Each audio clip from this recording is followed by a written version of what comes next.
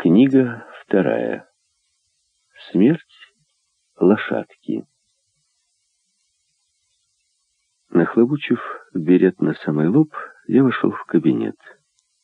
Фелисьен Ладур, родной брат торговца кроличьими шкурками, ставшего чуть ли не магнатом кожевенной промышленности, Фелисьен Ладур рассматривал в лупу образчик распятого Христа. Поднеся муляж вплотную к своему единственному глазу, он вглядывался в него с такой страстью, словно молился. Весь стол завален был точно такими же муляжами. Но поскольку деревянных крестов еще не успели сделать, вся эта группа Иисусов, ждущих поклонения, имела почему-то не слишком мученический, а скорее уж спортивный вид — ну, я ждал, что они вот-вот начнут дружно выполнять различные приемы шведской гимнастики. Но Фелисьен Ладур, начисто лишенный воображения, вполне довольствовался ролью многоопытного и солидного директора Сантимы, процветающей фирмы по изготовлению предметов религиозного культа, с которой мсье Резо, мой отец, и барон де Сельдозель, мой дядя, были связаны самыми благочестивыми интересами. В данный момент кривой, голосом куда более глубоким, чем его пустая глазная орбита, прикрытая моноклями черной тофты, изрекал свои суждения насчет коммерческой ценности Иисусов. «Испоганили», — ворчал он, — «взяли и испоганили. Да разве в этом у бедняги страдальческий вид? А ноги, ноги, нет, вы только посмотрите на ноги. Ну, разве такие ноги у распятых бывают?» Это же балерина, а не Иисус Христос. По другую сторону стола стоял начальник муляжного цеха. К его трагически поджатой нижней губе прилип окурок сигареты. Ладур спрятал лупу в карман. Снова взял Иисуса. Отодвинул подальше. Приблизил к самому лицу. Повернул влево, повернул вправо. Сначала выпуклой, потом полой стороной, головой вниз, головой вверх. Нахмурил левую бровь, затем нахмурил правую. Нерешительно присвистнул, и вдруг его осенило. Нет и нет. Так дело не пойдет. Ну, вот что, давайте-ка пустим в серийное производство наш прежний номер 53, только улучшенный.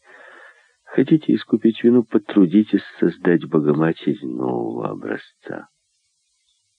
Сделайте мне такую Богородицу, чтобы ее из рук рвали. И в Лурде, и в Нотр-Дам-Дюшен, и в Ла-Салет, и в Ченстахове. Словом, так сказать, промежуточный тип. Понятно. Тут только Ладур посмотрел на меня, заметив. «Э, «Да это, оказывается, вы, хватай-глотай!» — воскликнул он и махнул рукой начальнику цеха, уходи, мол, «Ну, подойдите сюда. А почему вы стоите на самом сквозняке? Боитесь скомпрометировать себя? Моя фирма гордится тем». Он вдруг запнулся, поскреб Пятерней кадык скривил губы, как бы желая проглотить слово, уже давно изгнанное из его лексикона, и уточнил, бросив в мою сторону пронзительный взгляд циклопа. «С давних времен ваше семейство гордится тем, ну, короче, оно вложило в наше дело кое-какой капитал и получает недурные дивиденды. Так что входите свободно, ну, снимите ваш билет, честное слово. Ладур, Фелисиан Ладур, брат сыромятника, вовсе не думал насмехаться. Он смеялся самым простодушным образом, нет, права же, от месяца к месяцу, я заметил это еще во время редких появлений Ладура в коллеже, он становился все более дородным, все менее осторожным. Взять хотя бы то, как он мне сказал, а это вы, словно обращался к кому-нибудь из своих служащих, которого только накануне отпустил небрежным «до свидания». Называл он меня просто «хватай-глотай». хотя подобная фамильярность разрешалась лишь членам нашего семейства и была запрещена всем посторонним, особенно же посторонним низкого происхождения. Неужели за последние три года мир так изменился, что какой-то ладур смеет обращаться со мной из-за панибрата? Никому ни в хвалебном, ни у иезуитов не удалось меня обучить смирению, каковой мой отец считал вежливостью мелкоты или же гордыней святых. Само собой, разумеется, Равуа, наш классный наставник, предостерегал нас против новых веяний века и провидел, что от сыновей не слишком богатых родителей потребуется принятие мужественных решений, но изрекал он все эти истины ровным голоском, совсем таким же, каким читал нам вечерами по пятницам слащавые нравоучительные книжки. Между двумя зевками он сообщал нам об опасностях мира сего с такой же малой убежденностью, с какой вдалбливал в наши головы вечные истины Священного Писания и, откровенно говоря, с тем же успехом. Получалось, что опасности мира сего и адские муки — это одно и то же. Скучающая литература, сомнительная действительность, но, во всяком случае, декорум был соблюден. «Сударь!» — кричал Рувуа, обращаясь к болтунам или курильщику, потихоньку выпускавшему дым в рукав. «Сударь, вы заработаете двойку по поведению. А ежели будете продолжать вести себя как идиот, то схватите и единицу» суровы иезуиты, но умеют соблюдать вежливость. Поэтому я легче бы снес сухой учтивый тон, чем беспардонную развязность. Я открыл было рот, намереваясь преподнести две-три дерзости торгашу, в сущности, славному малому, которого мсье Резо, вернее его супруга, весьма легкомысленно выбрали мне в опекуны, но тут же, повинуясь какому-то сложному чувству, подавил свою досаду. Ведь наглость — это, так сказать, мерило уважение. Неужели же наша семья пришла в упадок? Как ни неприятно было бы лично для меня это обстоятельство, для моих родителей оно еще неприятнее. Я испытывал досаду, но, как ни странно, и внутреннее удовлетворение — и, не зная, что сказать, только улыбнулся в ответ, но внезапно моя улыбка превратилась в гримасу. Сквозь стеклянную перегородку, отделявшую кабинет Ладура от конторы, я заметил мою кузину Эдит. Надо признаться, ничуть не изменившуюся. С обычным своим видом гамма-играющей барышни она в данную минуту терзала клавиатуру Ундервуда. Ладур перехватил мой взгляд и даже не удивился, моему удивлению. «Ну, да, да», — буркнул он, — «я взял ее себе в секретарши, только проку от нее мало. Но Тюруры находится сейчас в таком критическом положении, что пришлось уступить настойчивым просьбам барона де Сель-Дозель». Еле заметное придыхание. Так пустячок пресекло на секунду его голос — как бы в знак уважения к этому крупному состоянию, еще противоборствующему критическим обстоятельствам. Ну, впрочем, я пользуюсь услугами еще одного вашего родича, продолжал Ладур, Леон Резо, которого мне также рекомендовал ваш дядюшка. Приятнейший человек ваш дядюшка, но между нами, будь сказано, чересчур благоволит к родственникам. Не будь я постоянно на чеку, он заполонил бы всю сантиму членами вашего семейства, лишившимися ренты и не имеющими определенной профессии. Я не о Леоне говорю, на него как раз грех жаловаться. Он у нас лучший камевояжер, и я подумываю поручить ему управление нашим миланским филиалом.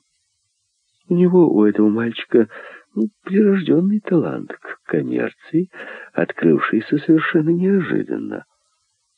Он ведь чуть было не поступил в духовную семинарию. Впрочем, он, так сказать, остался при том же товаре и с таким же рвением торгует своим благочестивым набором, что сумел привлечь клиентуру. Но, кажется, хватай-глотай, мои слова вас шокируют. Фелисьен Ладур ничуть меня не шокировал. Он меня раздражал. Не люблю тех, кто лишен чувства благодарности. Не люблю эту манеру высмеивать людей и вещи, которые тебя же кормят, особенно если субъект, повинный в подобных грехах, не может сослаться в свое оправдание на то, что снисходительная ирония является наследственной чертой его характера. Ирония терпима лишь в малых дозах, как перец. Но куда больше ошеломил меня тот переворот, о котором никто не заикался и который в рекордно короткий срок в корне изменил дух нашего семейства, заставив откинуть свои вековые предрассудки и обратив его представителей в новую житейскую политику. Ведь сам барон Десель-Дозель в одной из своих посещений хвалебного заявил моему отцу, «Положение нашей сестры трагично, не спорю, но по мне уж лучше пусть погибает с голоду, чем идет в гувернантки. Лучше вообще не помогать родственникам, чем помогать им опроститься. Ну, что ж, этот кремень, этот несговорчивый барон сажает родную племянницу за пишущую машинку, сует в руки родного племянника чемоданчик камевояжора. Святые отцы, не устававшие твердить нам, что их дело грехи пресечь, а при случае нас посечь, Святые отцы не раз, повторяю, рассказывали нам о кризисе, но с такой сладостной, с такой христианнейшей улыбкой, столь незначительным казался он в их устах, что я и вообразить себе не мог, какие он принес катастрофы. До наших барабанных перепонок, оглушенных наставлениями, полагающимися при благочестивом воспитании, уже не доходил громкий треск рушившихся бюджетов и шарканье целого легиона девиц из буржуазных семей, шествующих в конторы по найму. Пока я пытался примирить в душе глухую досаду и странное ощущение какого-то сообщничества, даже реванша, Ладур веско проговорил. Я, понятно, шучу, но ваш кузен был совершенно прав, как, впрочем, прав и ваш батюшка. Да, ваше семейство не без скрежета зубовного решилось подчиниться духу времени. Как сейчас помню слова мсье Резо, кто же из нас после знаменитого законодательства о наследстве рискнет занять должность в суде? И представьте, рискнул. Да еще с какой радостью ухватился за пост товарища прокурора третьего разряда. Судя по его последнему письму, он весьма огорчен, что по скромности дал себя упечь в Гваделупу, а не добился назначения в Анже или в Сегре, ну, словом, где-нибудь поближе к хвалебному, как он поначалу рассчитывал. Ну, конечно, сейчас он получает повышенный колониальный оклад. Известно мне также, что у вашей матушки были свои личные мотивы. Вы, кажется, что-то сказали. Я ровно ничего не сказал. Совсем напротив. Я слегка сжал зубы. Но сейчас, надо полагать, все утряслось. Ну, вы уже не дети. Кстати, а у нее и на самом деле такой крутой нрав, как говорят. Тут мне ваши родственники столько наговорили, что просто не верится. Любопытно пробормотал я, что же они могли вам рассказать. Когда в кругу родственников появлялась моя матушка, никто не смел и слова пикнуть. Вдруг Ладур вытянул шею и удостоил меня пристальным взглядом своего единственного глаза, более способного угадывать недомолвки покупателей, нежели порывы замкнутого сердца. Взгляд его лишь царапнул меня, но не проник глубже. Тут огромная голова медленно ввинтилась в шею, плохо выбритые щеки подпрыгнули и прикрыли полоску полотняного воротничка 43-го размера. Века опустилась, и хозяин Сантимы, даже не догадываясь, чем вызван мой ответ, заговорил самым непринужденным тоном. «Ну, так я и думал, так я и думал. Люди вечно преувеличивают. Характер вашей матушки — вполне объясняется перенесенными ею операциями. Больную пожалеть надо. Жалеть? Я-то знал, что так, кого советовали мне пожалеть, не потерпела бы этого глагола. Впрочем, именно по этой причине я поспешил согласиться с Ладуром, убежденно кивнув головой. Ну и слава богу, подхватил Ладур, которому мсье Резо, несомненно, поручил прощупать почву. Надеюсь, что Рохля, ваш старший брат, придерживается того же мнения, а младший э, Марк, кажется, или Марсель, ну, словом, тот, кого вы зовете Крапетом, Марсель, поспешил уточнить я, желая подчеркнуть, насколько противно мне слышать из уст Ладура мое собственное прозвище. Марсель мне не пишет, Фред тоже, так что не знаю, что они думают и чувствуют с того самого момента, когда по неизвестным причинам пауза, которая должна поставить под сомнение эпитет неизвестный. Когда по неизвестным причинам нас взяли из коллежа Сент-Круа и рассылали по разным коллежам. Фред в Нанте, его опекает тетя Бартоломи. Марсель учится в Комбре, но, говорят, на последние каникулы его в награду за успехи вызвали в Гваделупу, и он поступил в лицей в Бастере. Впрочем, я им обоим не завидую, ибо заботы обо мне были поручены вам, говорило мое молчание, под тем, мол, предлогом, что никого другого в Анже не могут подобрать на роль моего опекуна, а на самом деле, чтобы побольше уязвить меня, потому что вы мне чужой человек, и что еще хуже — малоблистательный ладур. А ведь если хорошенько разобраться, этот выбор не так уж для меня не выгоден.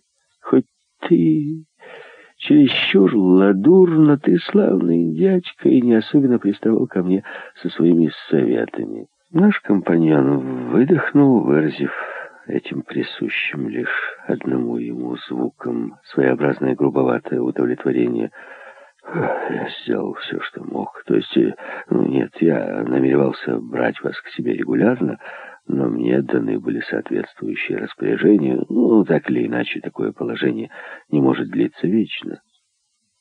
Ваш батюшка плохо переносит климат колонии. Он в отчаянии. Дом брошен на попечение старухи Фины, теперь почти полной калейки. Научные изыскания прерваны. Сыновья, бог знает где, и достигли возраста, когда пора выбирать себе поприще и устраивать жизнь. Коллекция мух гибнет, вставил я жалобным тоном, прозвучавшим вполне натурально. Карьера, устроить свою жизнь, теперь все понятно, все понятно. Не может же в самом деле наша матушка предоставить нас и впредь ненадежному контролю и капризам нашего вдохновения, которое, как известно, диктуется чувствами. Уж давно бы ей пора вернуться из своего изгнания, покинуть свою Эльбу. Когда она возвращается, спросил я уже другим тоном, пожалуй, чересчур бодрым, чересчур наигранным. Ну, так больной осведомляется у хирурга, на какой день назначена операция. Ну, не раньше, чем через несколько месяцев. Ваш батюшка должен добиться перевода. В Анже просится слишком много кандидатов. Ладур повторил свой выдох. Фу. Ничего, кроме распоряжений, продиктованных в последней телеграмме, он сообщить мне не мог. А что будет со мной до их приезда? Ладур растерянно потирал свои отвислые щеки. Наконец решился.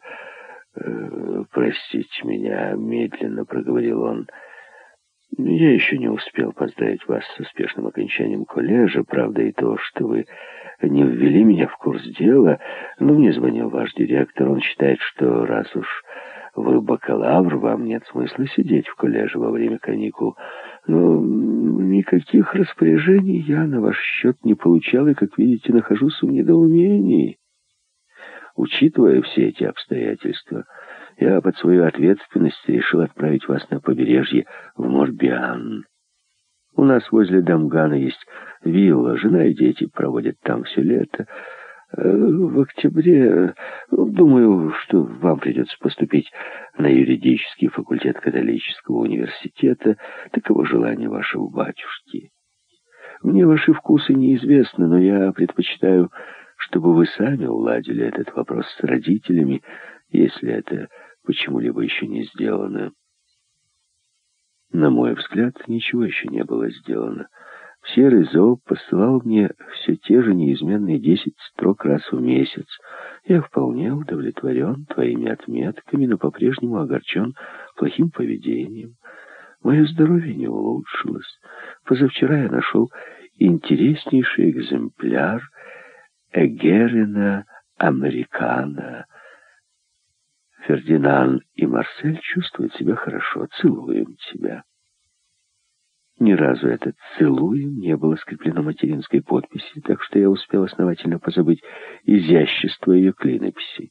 А тремя месяцами раньше мсье Резо, любезно намекая на уже принятое решение, удостоил меня следующим постскриптумом. Фред не попал в морское училище и будет учиться в гидротехническом. Марсель, сдав экзамены на бакалавра, будет готовиться в политехнический институт в Сент-Женевьеве. Если ты успешно закончишь второе полугодие, то мы снимем тебе комнату в интернате юридического факультета католического университета, где, как известно, я состою почетным профессором. Хотите повидаться с кузиной, осмотреть фабрику? Упершись ладонями в край стола, Ладур приподнял со стула свои сто килограммов. Тут только я заметил, что у него под пиджаком серенький жилет.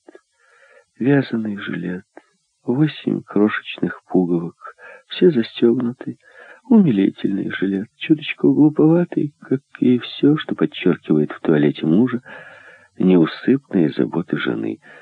Жилет, превращавший это директорское чрево в чрево отца семейства. Я из тех, кто близок только с самим собой. Как вам известно, матери у меня не было, была только психимора. Ну, молчим об этом ужасном прозвище, от которого мы уже отвыкли, и лучше скажем так, у меня не было настоящей семьи, и ненависть для меня стала тем, чем для других — любовь. Ненависть? Так ли это? Ну, скажем лучше, я знаю мальчугана, знаю подростка, который, как никто, умел играть в черную меланхолию в те годы, когда детям положено читать розовую библиотеку. Дети не выбирают тех игр, которые им навязывают. Только играют они с большим или меньшим увлечением. В 18 лет я по-прежнему близок только с самим собой. Иной близости не может знать бунтарь. В течение семи лет мои родные были для меня лишь сотрапезниками, разделенными на два враждующих клана. Во время нашей разлуки за годы учения в коллеже я, понятно, имел немало случаев завоевать чью-либо симпатию, но отнюдь не дружбу. Учителя, надзиратели, одноклассники — все они уходят, сменяются, исчезают — когда этого никак не ждешь. Иногда успеваешь их узнать, иногда успеваешь их возненавидеть, и редко успеваешь к ним привязаться. Кроме того, в религиозных учебных заведениях на дружбу обычно смотрят косо, как на нечто двусмысленное. Только раз уже в классе риторики я сдружился с неким Кириллом, сыном русского колониста, проживавшего на Мадагаскаре. Мы с ним, да еще пять-шесть учеников, делили вместе незавидную участь торчать летние каникулы в интернате. Его скорбь, пленительно русая, тронула меня, но по окончании каникул меня вернули в старшие классы, а его в средние, Через служителя он прислал мне четыре записочки, но пятую перехватил надзиратель, следивший за дисциплиной, и, заподозрив мерзости, упрятал Кирилла в карцер, долго его допрашивал, стараясь установить, какие именно знаки внимания я ему оказывал. Эта история бросила на меня тень и стоила мне сомнительной привилегии спать рядом с Альковым надзирателя. Кроме того, юные одиночки стали меня сторониться. Я не особенно от этого страдал. Так уж устроено мое сердце, оно мало подходит для функции сообщающихся сосудов. Я даже не протестовал. Конечно, никогда я не был лилией, снежно-белой лилией, которая прямо как стрела выходит из луковицы, подобно тем, что держит в руках святой Иосиф, крашеный гипс, номер 196 каталога Сантимы.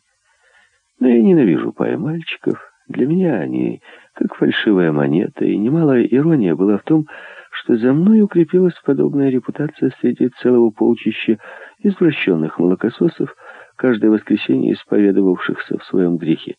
Ну, конечно, у меня были прегрешения, но хоть не поддельные. В тех редких случаях, когда мне удавалось выбраться за ограду коллежа с несколькими монетами в кармане, я несся на улицу Шартер, где разгуливали дородные бретонки. В то же время у меня был свой головной роман, я хочу сказать, серия нескончаемых, хорошо построенных, хорошо слаженных, логично развивавшихся грез, вроде тех фильмов, в конце которых чудом воскресает пулеустойчивый герой. Именно по этой причине я мог в течение длительного времени пренебрегать чтением, которое является плодом чужого воображения. Какой роман мог соперничать с моим, с тем, который я рассказывал сам себе, своим языком, и где я был одновременно автором и главным действующим лицом? Поначалу это была настоящая эпопея в жанре приключений парижского мальчишки и прямо соответствовала моим географическим познаниям. Впоследствии издательство моих грез несколько видоизменило сюжет. Я сотворил из собственных ребер не одну, а целую серию э, не особенно опрятных Ев. Все они назывались родовым именем Магдалина. Отнюдь не по причине профессиональной репутации этой святой, а в память о подлинной Мадлен, юной скотнице, которую я в возрасте 15 лет удостоил несколькими небезынтересными встречами в лесах хвалебного. Скажу к своей чести, ни разу Магдалины не довели меня до того, что социологи поэтически именуют рукоблудием в честь суккубы. Э, впрочем, Магдалины опять-таки во мне самом находили свою противоположность Жанну, то есть существо неприкосновенное, а высокочтимая женская ипостась меня самого. Жанна, Магдалина. Извечная тема, не слишком-то оригинальная, которые не смешиваются между собой, как рыбий жир и святая вода. Во всем я был таким образом манихеем, белое и черное. Я против себя самого. Фикция, разумеется, и комедия. Забавы одинокого мальчишки, который упустил случай стать интересным в глазах своих врагов и который старается стать интересным в своих собственных глазах. Но в равной мере и природная склонность разделять надвое все двойственное, видеть в любой паре не общность, а поединок, превращать жизнь в рукопашную и при необходимости э, правая рука против левой и сам против себя самого. Лицемерие противоположностей, неустойчивое равновесие на манер вестов, где нетрудно обвесить ворон и голубка, Цинизм и чистота — все это на одном насесте. Злобно, клюв к клюву. В самом себе я обнаруживаю наиболее веский аргумент против той философии, кстати, еретической, которая изображает человека якобы добрым от природы. Говоря так, я не хвастаю, я просто знаю. На меня нашел стих исповедаться, хотя я давным-давно забыл дорогу, что ведет к окошечку исповедальни в самом темном углу храма, который открывает подогреческий духовник. Не такой уж я любитель откровенностей, но бывает, что мне нравится вывернуть себя наизнанку. И в этом я иду в ногу со своим веком. Я ничуть не презираю сложности, я вовсе не прост. Я всегда считал, что простота и наш век придерживается того же мнения, ближайшая родня нищете духа. Блаженный нищий духом, фу, гадость какая. Никто еще не давал обета стать нищим духом. Единственно непереносимое из четырех бедствий, которые делают человека нищим духом, нищим деньгами, нищим телом или нищим сердцем. Нищий сердцем. Вот она, подлинная, самая страшная нищета. Страшная, потому что самая упорная, с помощью воли можно разбить дух, разбогатеть, холить свое тело. Но воля бессильна против нищеты чувств, особенно когда эта нищета наследственная. Я думаю о трех наследничках. Думаю о моем брате Фреде по кличке Рохля. Думаю об этой жалкой свинцовой натуре, которую расплавили и вылили в изложницу апатии, где он и застыл раз навсегда. О Марселе по кличке Кропет, медлительном, скрытном, бледнолицем любимчике мамаши. Об этом горлопане «хватай-глотай», который якобы избрал бунт. Какой бунт? Тот, что пробегает по вашей жизни, как огонь по Бигфордову шнуру, и умеет воспламенять лишь безрассудные выходки да жалкие трескучие петарды? Или тот, кто губит одновременно из самого взрывника и то, что он взрывает? Или тот, что обуздывает себя и становится лучшим пособником справедливости? Ведь бунтуют не только против определенных людей, но против всех, кто на них похож, против идей, которые они исповедуют. Бунт не будет настоящим, пока человек не прекратит бунтовать за свой страх и риск, и особенно если он не бунтует против себя самого. Но тут уж, как говорится, бунт становится революцией. Стоявшая между Керфлюрет и 7АС между двумя гнусными халупами вилла Ладуров красноречиво свидетельствовала об известном наличии вкуса у ее владельцев. «Армерия», — гласила эмалированная дощечка. Сотни квадратных метров садика и ни одного полагающегося в таких случаях куста, зато блекло-розовый кирпичный фасад вполне гармонировал с местной лазурью, с этой лавандовой дымкой в белых разрывах, с приглушенной охрой утеса, круто спускавшегося к бухточке Кервуаяль, с этой смесью серо-ржавых и серо-влажных тонов, словом, с картиной типичного бретонского пляжа в часы отлива. Шесть настежь раскрытых окон вдыхали сухопутный ветерок, который неспешной рысцой набегал из дальних ланвойских ланд, где, по слухам, нашла себе приют последняя пара волков. 24 июля 1933 года я, жадно принюхиваясь весь осетинец, предстал перед вратами овчарни, как настоящий волчонок. С полдюжины купальных трусиков сохло на кольях распахнутой калитки. Я разглядел медный колокольчик, позеленевший от времени, но он висел слишком высоко, шнурка не было. Однако я вскарабкался на чемодан и попытался дотянуться до колокольчика. Он издал неопределенное, жиденькое звяканье, столь же нерешительное, как и я сам. И сразу же во всех шести окнах показались голые руки, завитушки волос, веселые улыбки. «Вход свободный!» — крикнул чей-то пронзительный голос, голос чайки. Я не успел пересечь сада, где сохли сети для ловли креветок. На полпути к крыльцу меня затянуло водоворотом юбок, в основном из пестрой шотландки, волей-неволей пришлось остановиться, и я неловко топтался среди садового гравия и восклицаний, явно смущенный этой слишком экспансивной встречей, чрезмерным количеством рук, протянутых ко мне, словно пальмовые ветви при въезде Иисуса Христа в Иерусалим. В довершении всего юноша на голове у него было накручено величественным тюрбаном мохнатое полотенце, встал передо мной и на манер кудахтающей курицы и спустил торжественный призывный крик, крик клана «Цып-цып-цып». Достойный отпрыск семейства, которое все подвергает осмеянию, я не удержался и нахмурил брови. Ничего, симпатичный, немножко глуповатый, типичный скорняжный выводок.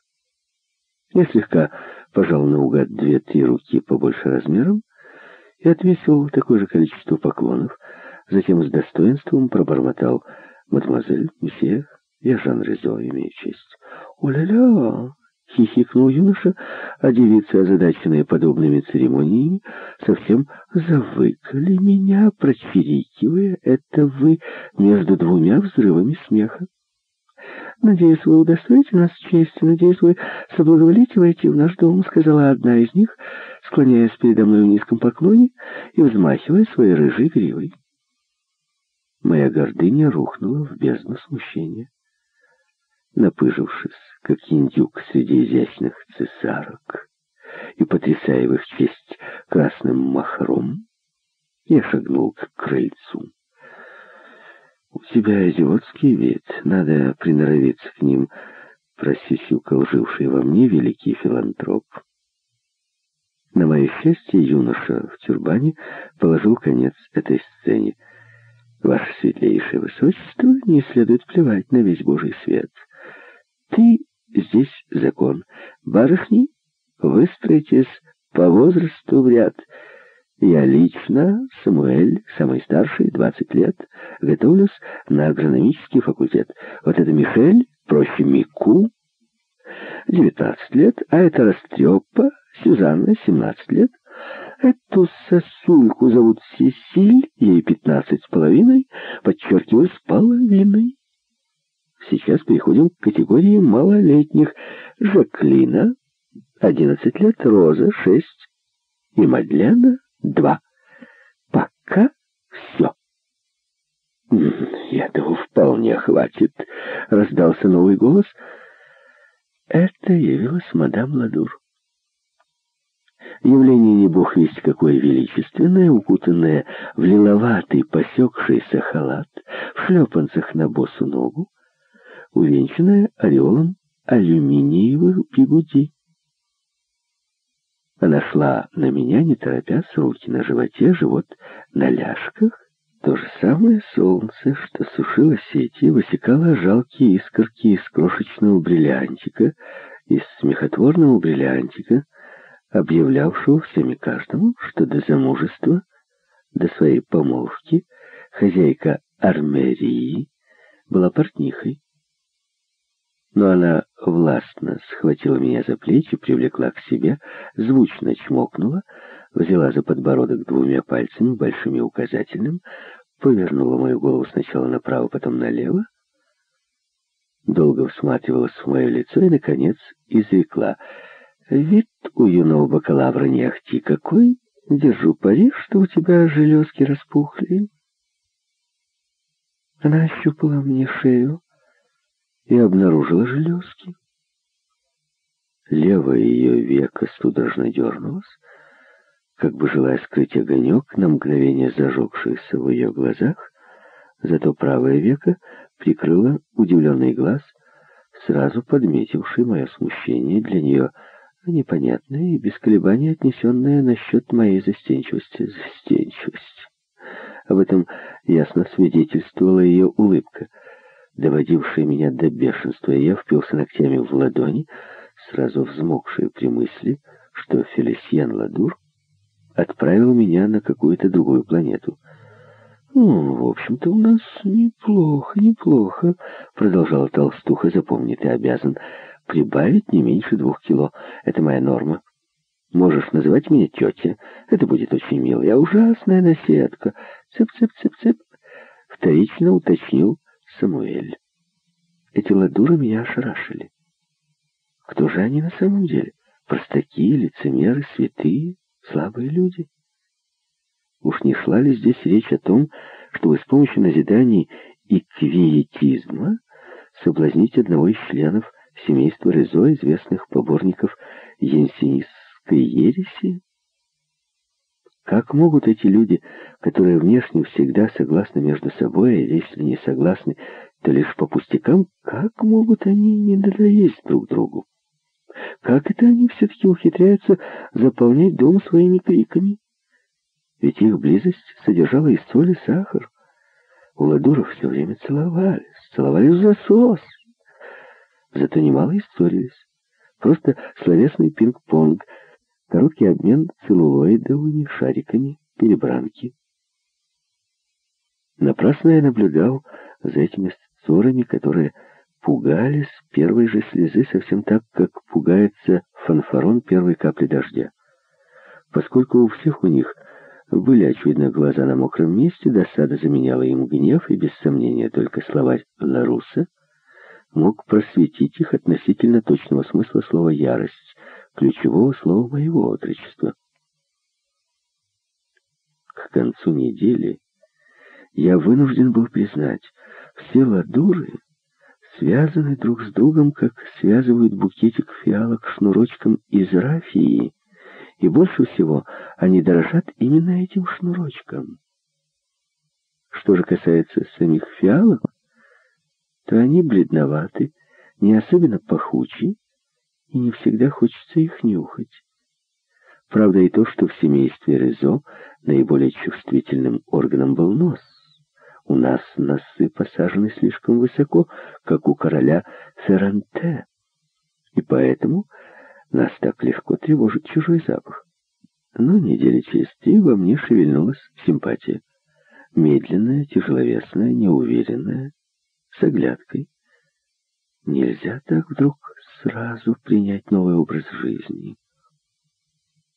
Тот, что мне предлагали здесь, был в моих глазах чуточку приторным. В 18 лет меня начали обучать детству. Тому детству, которого я никогда не знал, и которое я с давних пор считал как бы убожеством, слабостью, беззащитностью против родительской десницы. В 18 лет меня обучали игре, игре, неразрывно связанной в моей памяти с приказом «Идите поиграйте, сегодня вы будете чистить мостовую аллею». Что игра тому, кто не только не познал радостной бескорыстности движения, но для кого прямой смысл движения — защита, оборона? Кому придет в голову просить воина поиграть в солдатики? Разве не равносилен падению скачок из реальности в видимость? Я тогда еще не знал, что видимость э, сплошь и рядом надежное лекарство от реальности. «Эх ты, безгубый!» — кричал мне Самуэль, видя, как я морщусь во время игры в города. Именно безгубый, до того плотно поджимал я губы, снисходя к игрокам. Аппетит к удовольствиям дается при рождении. На фоне этих плотоядных весельчаков я выглядел вегетарианцем. Итака, и Йорк, Итон и твой брат Сесиль, вычеркивай. Самуэль уже назвал Эфес, Эфраим. Это племя, а не город, визжала Сюзанна. Я вмешивался холодно и поучительно. Больше того, племя доброго самаритянина. Вычеркивай, Сесиль. Колебание разрушало все чары. И вот уже играющие вертятся на стуле, обтягивают юбочки, поправляют галстучки. Что может быть хуже одного скучающего, который заражает всех насморком скуки, а ведь у меня самого от скуки вечно скулы сводило. Не очень-то весело с этим названным двоюродным братцем. Удастся ли его цивилизовать? К концу месяца я наконец-то сумел приноровиться. По крайней мере, я верил в это, и мне удалось уверить в этом Ладуров. Даже задавал тон. Я первым прыгал в холодную воду, первым бежал на соседнюю ферму, первым шел на приступ дюны. Как и подобает своему парню, я сбивал майонез, мастерил удочки для ловли камбалы, копал червей, орал болотницу, укладываясь вечером рядом с Самуэлем, а девочки за перегородкой подхватывали припев спал как убитый, убитый собственным здоровьем, обжирался свежим хлебом, свежим хлебом их непосредственности, их хлебом, а не моим. По правде сказать, я не стал ни более разговорчивым, ни более живым. Я довольствовался механической жизнерадостностью. Я радовался иступленно, не понимая, что от этого в кратчайший срок иссякнет и сила, и источник радости. Бедный мальчик старается наверстать упущенное, кудахтала мать наседка своему супругу, который предоставил себе недельный отпуск и теперь огромный, обросший рыжей щетиной, загромождал собой весь пляж, то и дело подтягивая трусы, сползавшие ниже его узловатого пупка. «Не лезьте вы к нему», — ворчал одноглазый. «О, мой друг!» Ладур был прав. Бывали минуты, когда, не выдержав больше их забот, я задыхался. «Где ты? О чем задумался?» «Что-то наш бакалавр не прибавляет в весе.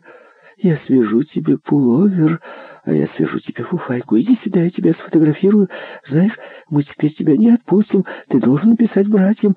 А твоя мама, скажи, правда, что твоя мама...» Правдой было то, что мне хотелось подышать в одиночестве.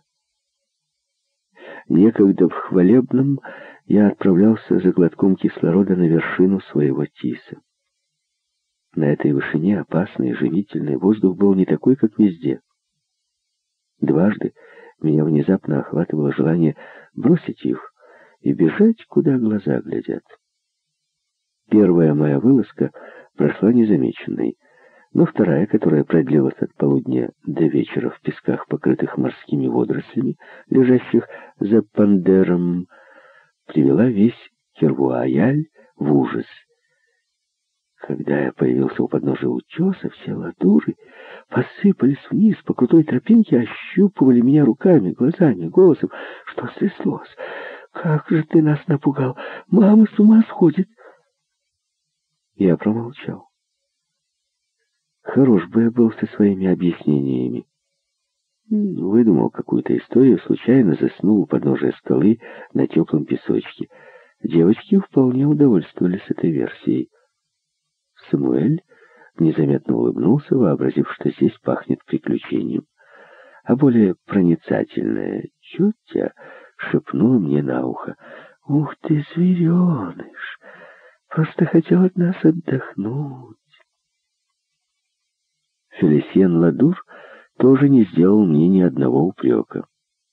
Он дождался, когда мы остались вдвоем, и сказал своим обычным ворчливым тоном, который я уже научился ценить. Когда тебе придет охота побродить одному, предупреди тетю. Тогда она не будет волноваться. Нет-нет, молчи, молчи. Я тебя отлично понимаю. Ты пропах затхлостью. Ты из тех, кого опасно проветривать слишком быстро. Время от времени уходи, отдышись в сторонке. И не надо слишком прирастать к нашему семейству. Не век же мы будем жить бок о бок. Все, что мы можем тебе предложить, я думаю, это не такой уж пустяк, это своего рода сокообмен. Торговец идолами. Неужели ты также и торговец идеями? Мне не претит более твоя влажная улыбка, растягивающаяся наподобие улитки. Со временем ты, возможно, поймешь, какая сейчас тебе выпала удача. Я не люблю громких слов, это не в духе нашего дома. Но ты сам знаешь, что написано на цоколе нашего 144 номера, на этом ужасном Иоанне Крестителе, предназначенном для сельских церквей. Возлюбите друг друга. Скажешь, вот, мол, дурак. Но, видишь ли, и тут толстяк, твой голос дрогнет. Это наша небольшая роскошь, и мы ею дорожим. Вовсе ты не обязан копировать наши манеры. Важно, чтобы ты проникся атмосферой дома. Прошло два месяца. Мои вылазки больше не повторялись. Так уж я устроен, если мне разрешают искать приключения, они теряют для меня всякую прелесть. Тем более, что я проходил курс лечения, единственно подходящий для юных отшельников. И в самом деле пришло время поговорить о другой стороне моих каникул, о моем вторжении в Геникей. Эти гладкие руки, голые ноги, которые то вдруг скрещиваются под коротенькой юбочкой, то принимают нормальное положение. Эти луковицы гиацинтов, поднимающие блузку, На все это я смотрел с восхищением и отнюдь не из-под тишка. Я трепетал перед этой вечной женственностью чистюль и трепишниц. Волчонок почуял ярочек.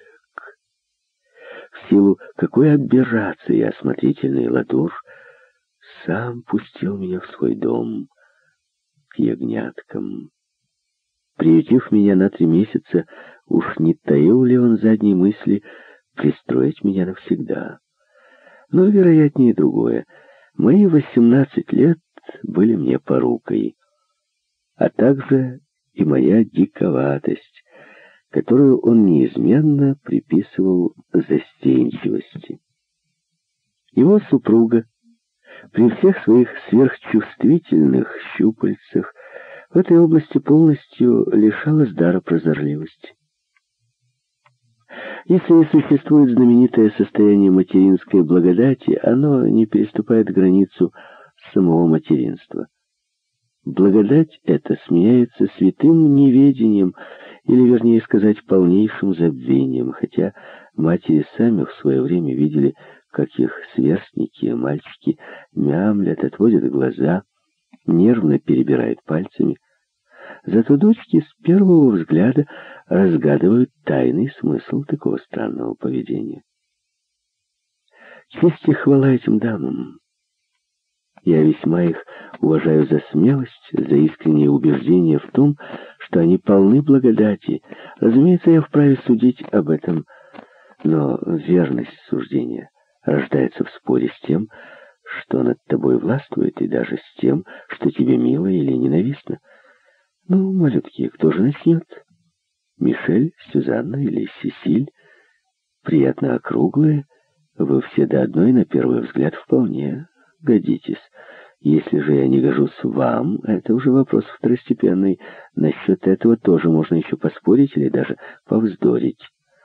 Самое тревожное тут, что, по всей очевидности, вы отнюдь не Магдалины, но столь же очевидно, что вы и не Дианы. Как бы то ни было, можно рискнуть, хотя бы ради чисто спортивного интереса, чтобы испытать свои чары. Чары Ризо, в которых нет ничего чарующего, чары, которые вскармливают змею. Добрая старая философия, добрые старые символы. Мы обнаруживаем их здесь, искрящихся лукавством и мечущих свои угрозы посреди ваших радостей. Помнишь психимора? Помнишь, мамочка? В то время, когда я умел оскорблять тебя одним единственным взглядом, целящим в твои зрачки, мы звали это перестрелкой. Но тут иная перестрелка. Почти что невинная и куда более легкая. Под моим пристальным взглядом барышни чувствовали, я это подмечал, легкий трепет, равносильный удивиться первому нечистому помыслу. Понятно, они не собирались окунуться в первую попавшуюся эмоцию. Они ничуть не напоминали в этом отношении Иву, но хотя двадцатью пятью процентами своего существа были романтичны, как и положено девственницам, они-то знали, чем обязаны сентиментальным романам Дели, женским иллюстрированным журналом и эпилогом американских фильмов. Я их заинтриговала, значит, заинтересовала. Вот и все. Ни малейшего кокетства с их стороны, никаких уловок. У нас, то есть у них и у меня, были слишком тяжелые веки. Ничего не происходило, ничто не вытанцовывалось. Но все, что говорило с нами, звучало уже не по-прежнему, а отдавало иным звоном. Друзья, безусловно, хотя бы через силу. Разумеется, у меня имелась избранница, и, конечно, старшая из сестер. Когда очень молодому человеку приходится выбирать среди нескольких девушек, что бывает нечасто, он обычно склоняется к самой старшей. Таким способом ему как бы удается повзрослеть, доказать себе свою мужскую зрелость, в отличие от стариков, которые пытаются сорвать бутончик помоложе, не по испорченности, а лишь в надежде помолодеть в собственных глазах. Поэтому Мику открыл собой список, не более того. Во всяком случае, когда мои намерения определились, ни Сюзанна, ни Сесиль не были окончательно вычеркнуты из списка, а только переведены в резерв. Я не шучу. Еще долго я буду распоряжаться чужой судьбой. Любое обязательство перед другими я сочту как бы изменой возможному, моему возможному, и какие бы обязательства я сам, кроме того, не взял, ими, на мой взгляд, будут связаны лишь те, кто может ими воспользоваться к своей выгоде. Недаром же я отпрыск буржуазии. Пусть все прочие довольствуются нашими объедками, идет ли речь о женщинах, о землях или о деньгах. Но не повторяйте моих слов. Это важнейшее чувство клана, чувство, от которого отделываются с трудом даже перебежчики. Это чувство наименее официальное, наиболее затаенное. Есть даже десятки учреждений, которые существуют лишь для того, чтобы помешать вам в это верить. И они распределяют наши объедки, но именуются благотворительностью. Итак, повторяю, у меня была избранница Сюзанна, и, богу же, вечно она была растрепана, веснушки резкие, как у чайки, голос, большие ноги несколько ее портили.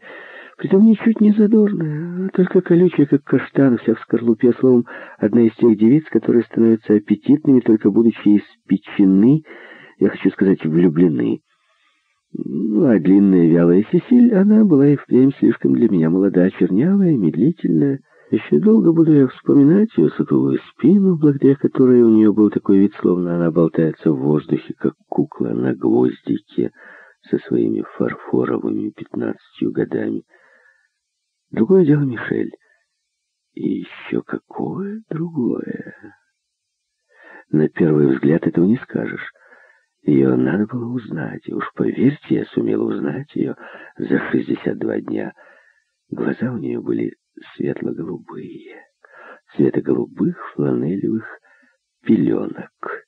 Ее косы, ни белокурые, ни каштановые, дважды огибали головку. Нику упорно отказывалась подражать сестрам, не желая стричься, и содрогалась при слове «перманент». Тонкость лодыжек, запястья, шеи, талии противоречила ее происхождению, но зато ее выдавал пушок на коже. Вернее, даже не пушок, а просто волосы, если говорить о ногах и предплечьях. Очень переменчивая. В иные дни она была восхитительна, в иные никакая. Ее немного угловатое личико, ну, скажем лучше, резко очерченная, не терпела ничего уродующего, а, то есть ни усталости, ни печали. Короче, девушка, которая красиво улыбается и некрасиво плачет, красота, нуждающаяся в счастье. При разговоре она наклоняла голову влево и слегка пришепетывала. Грудь мала, зато трепетна. Ученый отнес бы ее к категории дыхательных, грудь тех э, прославленных влюбленных героинь романов, которые охотно приводят в движение грудную клетку. К счастью, эта деталь искупалась твердой линией подбородка и гордой осанкой, словом, нечто предназначенное для романов, но отнюдь не для мелодрамы, не для флакончика с нюхательной солью. Существует итальянская пословица, которую можно перевести примерно так. «Хочешь заполучить Марию, сделай вид, что хочешь заполучить ее сестру». Не зная этой пословицы, достаточно жестокой для женского тщеславия, я применил ее на практике. И в 18 лет бывают свои озарения. Мику быстро заметила настойчивость, с какой я держался поближе к Сесиль. А я также быстро заметил, что она это заметила, просто по манере сновать иголкой или, пришивая пуговицу, откусывать нитку. Но в скором времени она догадалась, что мое ухаживание не заслуживает серьезного отношения, и сумела дать мне это понять неуловимо насмешливо, подергивая уголком рта. Потом эта невинная игра стала ее раздражать. Ей не нужно было соблюдать те семейные традиции, которые имеют в своем распоряжении целую систему могучих рычагов и все-таки охотнее прибегают к механизму мелких хитростей. Она дала волю нервам, начиная от сердитого прищура. «Да идите вы все!» От звонкого, нетерпеливого пристукивания каблучком до наклона головы, как у кошки, заметившей, что собака лакает из ее блюдца. Когда, по мнению Мику, шутка слишком затянулась, она, прекрасная Минервочка, перешла в атаку. Если возле меня оставался пустой стул, она говорила в сторону. «Занято. Все флиртуют». Невозможно было выйти с Сесиль в сад и не услышать за спиной. «Эй, вы там, а третий не лишний?» Мику произносила скороговоркой «Эй, вы там?» И, завладев моей левой рукой, увлекла меня за собой на буксире, а ее сестрица Розине тащилась по правую мою сторону. Как-то вечером я вызвался идти на ферму за маслом. «Оставьте его, дети, оставьте в покое», — сказала мадам Ладур, свято соблюдавшая нашу конвенцию. Я запоздал. Когда я возвращался, думая о чем-то, я заметил, что у подножия каменного распятия, стоявшего примерно на полдороги от фермы, сидит Мику. Хотя уже темнело, она прилежно вязала, и не подняла при моем появлении головы. И тут же мой ангел-хранитель шепнул, «Я и не знал, что ты призывал эту даму. Надвигаются сумерки до крайности поэтичные, во всяком случае уже густые. Ты вполне можешь ее не заметить. Скорее беги с откоса, мой мальчик, крой прямо через поля. А если тебя окликнут, Жан?» Окликнула Мику. Я не утверждаю, что этот день был тем самым днем. Но скажите сами, кто сумеет разубедить в этом юную читу, которая, размахивая руками, возвращалась домой, мешкала на вершине утеса и, казалось, позировала перед фотокамерой в роли двух отчетливо вырисовывавшихся китайских теней. Двух глупеньких теней, до того чистых, что любой режиссер пришел бы в отчаяние. Две тени, не способные даже следовать ритуалу, обязательному на закате, багровым, как нескончаемый поцелуй. Две тени, столь воздушные, но столь заговорщически близкие этому закатному часу и всей земле. Архангел в сандалиях, архангел всего на пять минут и, возможно, проклятый на всю свою дальнейшую жизнь за эти несколько минут — мне нечего сказать об этом и нечего подумать. Где-то далеко передо мной море, и прошлое отступило вплоть до линии будущего отлива.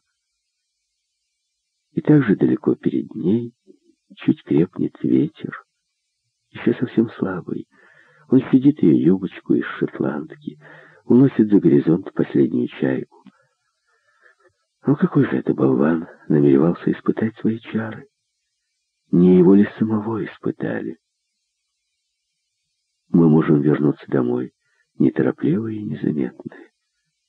Для меня, если не для нее, этот день все-таки стал тем днем.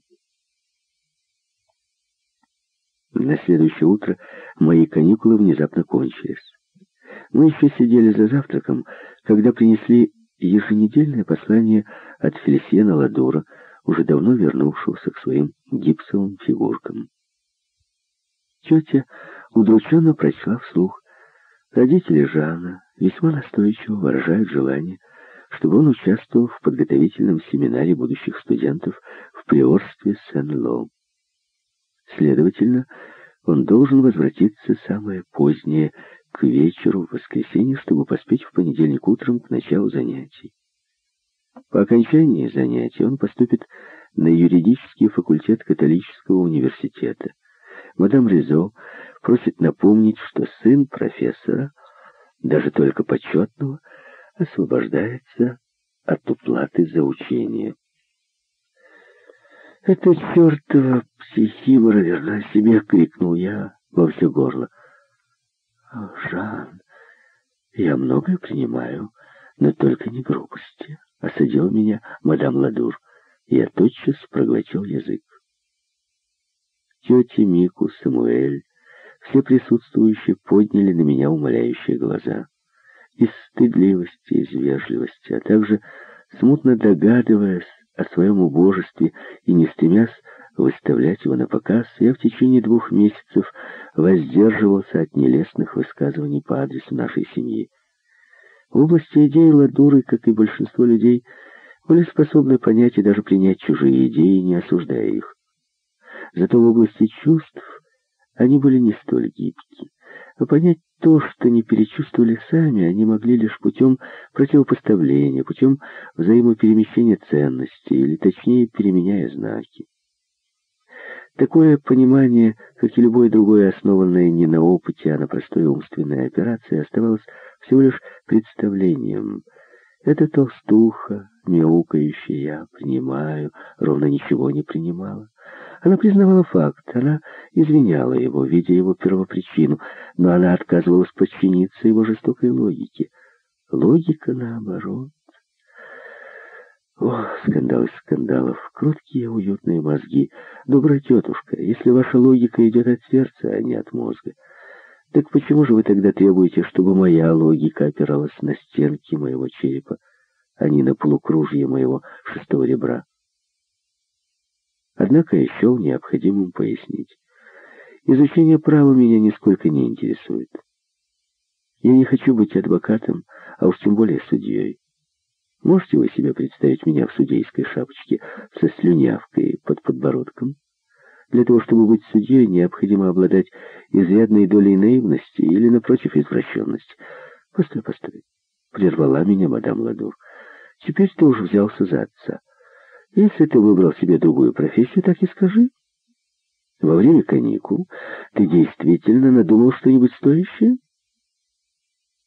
Молчание. За долгие годы я привык к молчаливым ответам. Но не весь Божий свет умел на манер нашей матери разгадывать этот безмолвный язык. Мое молчание гласило, уже давным-давно я знаю, чего хочу. Единственное, куда мне хочется поступить, так это в школу журналистики в городе Лиле. Но если говорить по правде, я предпочел бы немедленно устроиться в редакцию какой-нибудь газеты, чтобы набить руку, а главное добиться материальной независимости, источника любой независимости вообще. К несчастью, мне известно на сей счет мнение моего отца. Журналистика открывает множество путей только при условии, если ее бросить, так лучше вообще за нее не браться. Или еще резоне занимаются раздавленными собаками.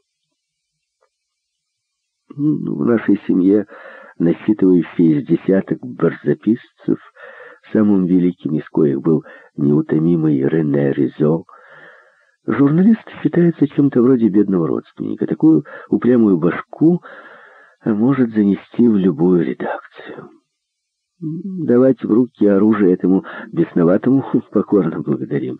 Юриспруденция, одна лишь юриспруденция способна выправить сбитые на бекрень мозги. Юридический факультет — прибежище колеблющихся. Юриспруденция помогает повзрослеть. Это вроде как бы зубы мудрости. Ты действительно что-то надумал? Настаивала мадам Ладур. Лучше было сразу выйти из игры, снискать себе полусвободу студенческой жизни. Ну, потом разберемся. Поверьте, у меня просто не было времени думать. Ох, как это мило по отношению к нам, сказала моя псевдотетя. Тут началась сцена прощания, осложненная советами, укорами, разноголосыми восклицаниями.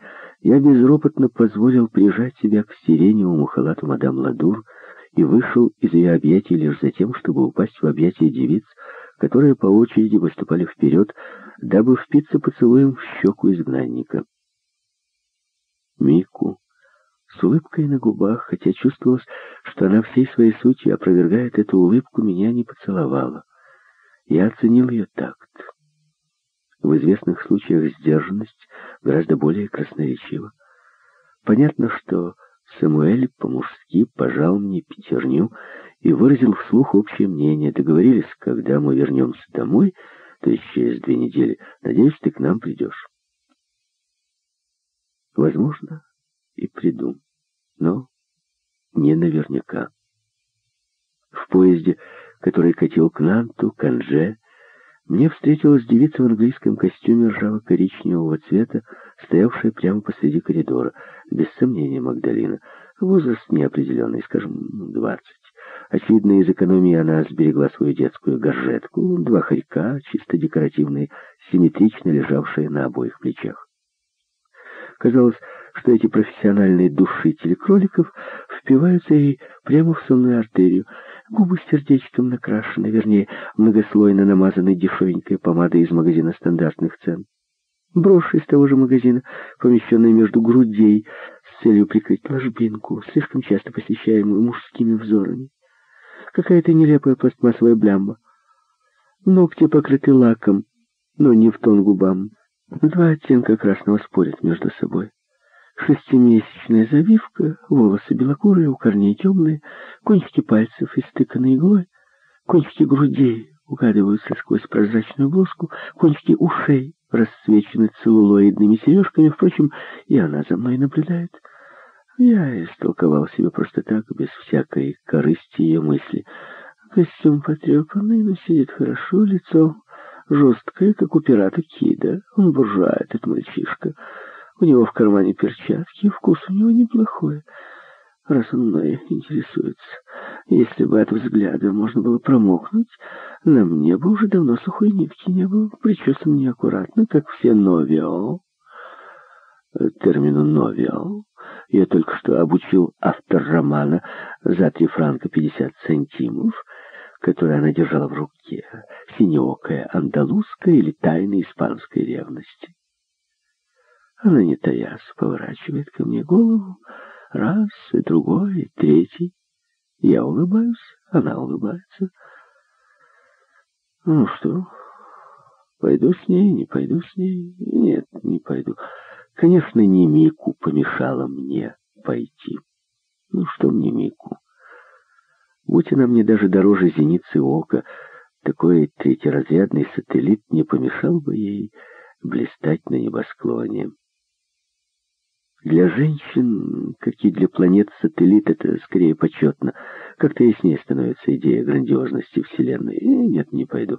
Но если я не пошел, хотя ржал коричневый костюм оглянулся в четвертый раз, то лишь потому, что слишком живо было во мне чувство благоприличия. Называйте это как вам угодно, я называю это благоприличием. Спускалась ночь, и вчера, в этот самый час, я был на утесе. Я давно уже знал это кольцо звонка. Знал и это приворство Сен-Ло. Когда мы жили с бабушкой на улице Тампль, еще до приезда нашей матушки, я каждое утро, направляясь в школу, проходил мимо решетки святой обители, и сестра-привратница следила за мной недоверчивым взглядом, боясь, как бы я не изловчился и не позвонил бы в их звонок. Как сейчас вижу ее под сенью чепца, со стуком перебирающую четки, слышу ее крик вдогонку мне, улепетывавшему со всех ног. «Я тебе все уши оборву, негодник!» Как ни странно, но в привратницах состояла все та же сестра. А я-то думал, что по монастырскому уставу монахинь часто меняют должности. Она сильно постарела, но чисто цицероновская бородавка на ее носу разрушала все могущие возникнуть сомнения. Она открыла мне двери с ледяной вежливостью, экономя слова, кивнула мне подбородком и, даже не спросив моего имени, молча пошла вперед, неся перед собой свою накрахмаленную кирасу и явно чрезмерное количество юбок, волочившихся по земле и до блеска залоснивших задники ее ботинок. Так мы вошли в сад, как бы прочесанные частым гребнем, усаженные тополями с аккуратными, словно развилины канделябров ветками. Скромные группки медленно прохаживались взад-вперед, переговариваясь еле слышным шепотком. Привратница остановилась и все так же подбородком указала мне на скамью.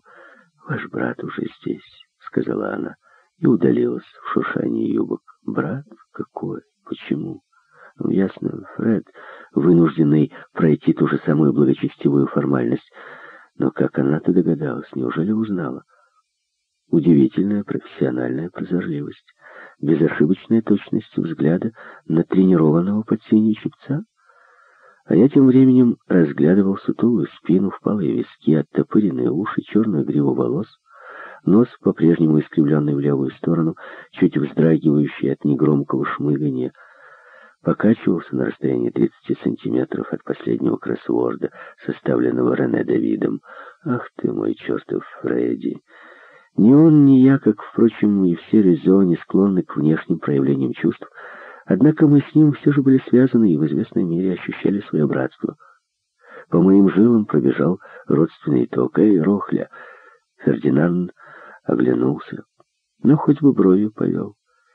Я знал, что этот мальчик не так-то легко удивляется, но мне было бы приятно подметить хоть легкий блеск в его скучающих глазах под нависшими дугами бровей.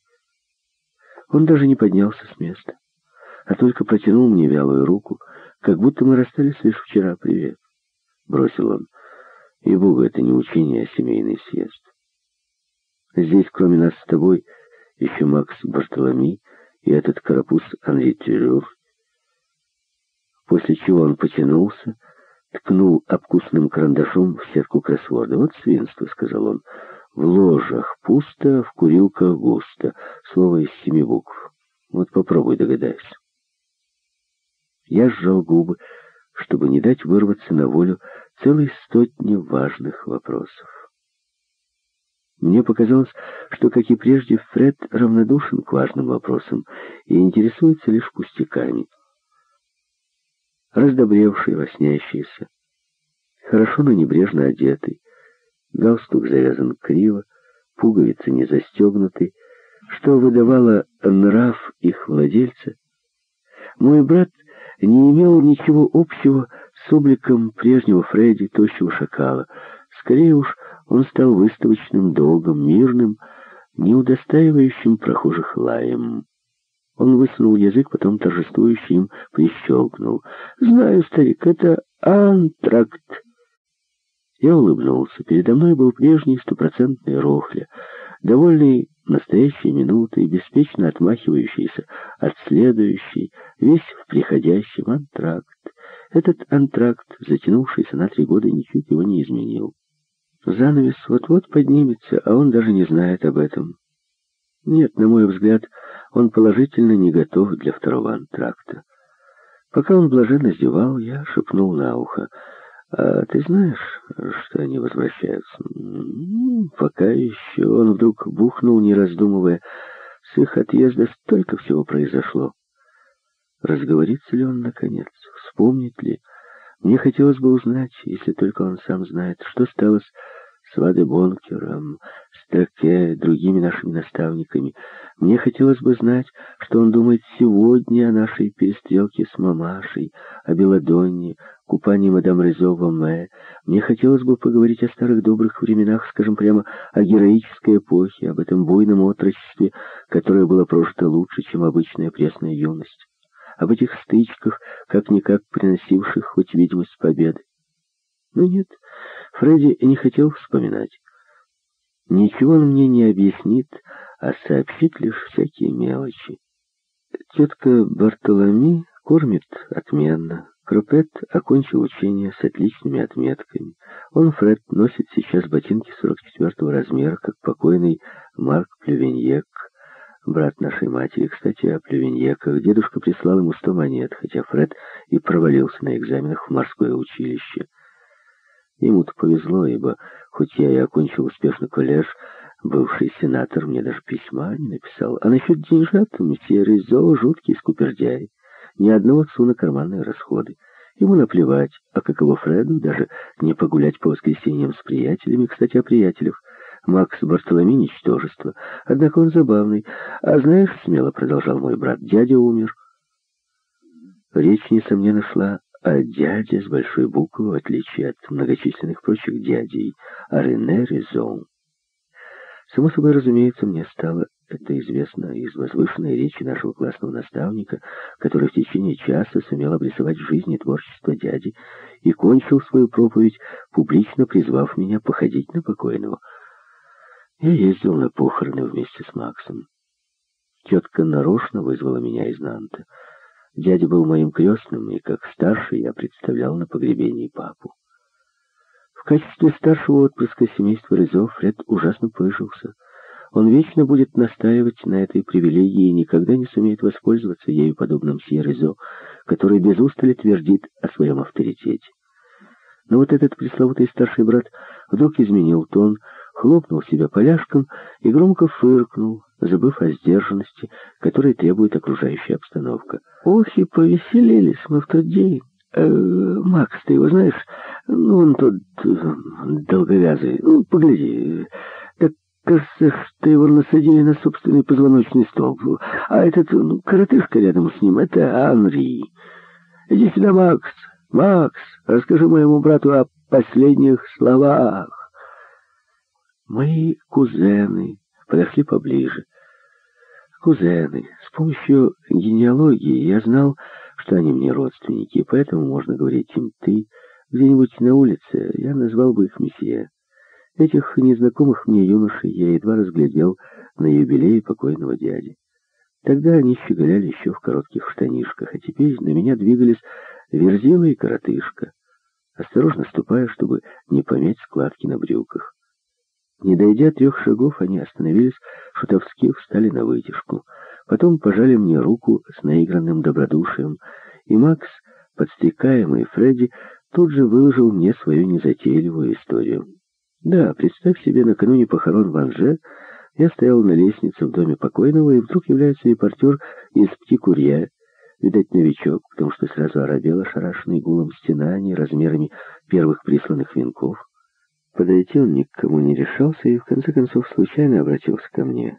«Мсье, э, мне поручили написать некролог, целую колонку на первой полосе. Не могли бы вы сообщить мне какую-нибудь э, информацию, или, вернее, деталь, ну, какие-нибудь слова покойного? Я работаю в Тикурье, работаю всего неделю, и мне не хотелось бы упустить такой случай». Решил я было послать его подальше, но вдруг на меня нашло вдохновение, и я сказал ему печальным таким голосом, «Я, видите ли, его племянник, и не присутствовал при последних минутах дяди. Но если вам пригодится перед смертью, как мне передавали, он повторил слова Бореса, «Лучше прекрасная смерть, нежели прекрасные похороны». И тут я произнес целую речь запаковал товарищ, завязал бантиком. Ох, дружок, тип-то ликовал, строчил, сучил от радости ногами. Это войдет в историю, мсье. Слушайте, в историю. Большое вам спасибо. Но на следующий день в Птикурье вся эта фраза была вынесена в заголовок, и тетки под своими вуалями до пят шепчут — это неправда. Он вовсе этого не говорил. На самом же деле бедняга за час до смерти сказал, «Если бы я мог помочиться, мне стало бы легче». Но вершина всего — это надгробная речь епископа. Он, прежде чем зайти на кафедру, очевидно прочел газету. Его святейшество, как обычно, раскатывая букву «Р», сообщил — что в своем безмерном смирении сей великий муж, умирая, прошептал «Лучше!» Макс согнулся пополам, как складной метр, и громко фыркнул. Фред, слегка воодушевившись, своротил пальцем налево свой нос. Анри Тюрюр даже не улыбнулся. Несомненно, ему было неловко, и сам не знаю, почему я разделял это чувство. Гораздо легче издеваться над живым, чем над мертвым. Некогда я сам издевался над тем благоговением, которым наша семья окружала свое светило, и, конечно, с тех пор не переменил позиций. Но если самые почтительные переходят на сторону зубоскалов, я предпочитаю не быть ни в том, ни в другом лагере. Этот самый Макс, который теперь уже не смеялся, но продолжал распространяться насчет старого краба. Несомненно, этот самый Макс важно засовывает большие пальцы за вырез жилета, когда его спрашивают, не племянник ли он академика. Фамильные вина явно начинали превращаться в уксус. Но и в этом уксусе еще долго можно будет мариновать корнишоны, то бишь э, дураков. «Смейтесь, смейтесь», — сказал Анри чуть ли не вызывающим тоном. «Кончина дяди все-таки большая потеря. После его смерти семья распадется». «Э, «Напротив», — возразил Макс, — «она молодится. И, богу, мы слишком долго варились в старом соку». Не будем вмешиваться. Этот спор, впрочем, вскоре иссякший, меня не интересовал. В сущности, оба моих кузена были одного выводка и разнились лишь оттенками характера. Макс не подозревал, что сам следует доброй традиции. Я имею в виду традицию внутреннего всеочернительства, которое всегда было у нас в ходу и которое не имеет ничего общего с бунтом. В их представлении о молодеце значит потрясти кокосовую пальму, чтобы на манер дикарей отделаться от отживших свой век стариков, но отнюдь не от их принципов и их земельных владений. Для них важно занять не новые позиции, а просто новые места. В сущности, ну, я знаю кое-кого еще того, что живет во мне самом, он тоже восставал против отдельных лиц, теперь вдруг понял, что бил мимо, Впечатление, впрочем, мгновенное, сразу же исчезнувшее при воспоминании о моих бунтарских вылазках. Да кроме того, в саду зашуршала сутана. Все в сборе, пора, господа, пройти в часовню. И так на целую неделю. Проходя поэтапно от руководства по подготовке к принятию духовного сана через духовное упражнение Игнатия Лайолы к методе, разработанной его преосвященством Клерсеном, мы прошли через все. Три года пребывания в коллеже казались нам теперь неестественно затянувшимся семинаром. Ежедневная месса, молитва до и после учения, до и после каждой лекции, до и после каждой трапезы, перебирание четок в течение месяца непорочной девы, битье поклонов в течение месяца, посвященного сердцу Иисусову, исповеди, курс катехизиса, духовное чтение. Каждое воскресенье торжественное богослужение — место с принятием тайн, место с певчими и органом, вечерняя, вечерняя молитва, повечерие, десять дней этих подготовительных занятий для всех без исключения, для причастников, для бакалавров. Наконец, перед самым распуском заключительная и самая важная лекция для философов, прочитанная все тем же прославленным монсеньором Клерсеном, редким специалистом по таким вопросам, умеющим в два счета доказать преимущество духовного сана. Нет, право же, мне совсем ни к чему была эта новая порция переливания из пустого в порожнее. Но какое воздействие могло оказать все это на 30 ченцов из хороших семей, которые вызубрили наизусть апологетику, а попали сюда в приорство лишь потому, что их послали родители, потому что так принято, потому что молодые люди нуждаются в духовном наставнике так же, как и учителе танцев или фехтования. «Ну и носище!» — пробормотал Макс, рассматривая преподобного отца, который взбирался на кафедру, предшествуемый своим носом. «Дар Божий из пяти букв?» — допытывался Фердинанд. «Что это?» И так на целую неделю. Фред засовывал свои кроссворды в методическое пособие, которое только что ему выдали. Макс писал стихи на обложке того же учебника. Кроме Анри и еще двух-трех добровольцев, которые поддерживали всю эту благочестивую волынку, все прочие усердно подсчитывали, сколько часов осталось до заключительной церемонии. А я размышлял, просто размышлял, не согласно планам этих управляемых размышлений, что в моих глазах было слишком сродни методу самовнушения Куэ, а по избранным мной самим направлениям. То параллельно дороге на Дамган, то параллельно дороге на Хвалебное. А Хвалебное восторжествовало. Правда, заслуга в этом принадлежала открытке с изображением замка, на обороте коего мсье Резо нацарапал следующие строки. «Дорогие дети, пришлось ускорить наш отъезд. Мы прибыли вчера. Так как до вторника у меня не будет моей новой машины, я не смогу за вами заехать. Поезжайте в воскресенье автобусом до Соледа, последний километр пройдете пешком. Успешного учения, до скорого свидания.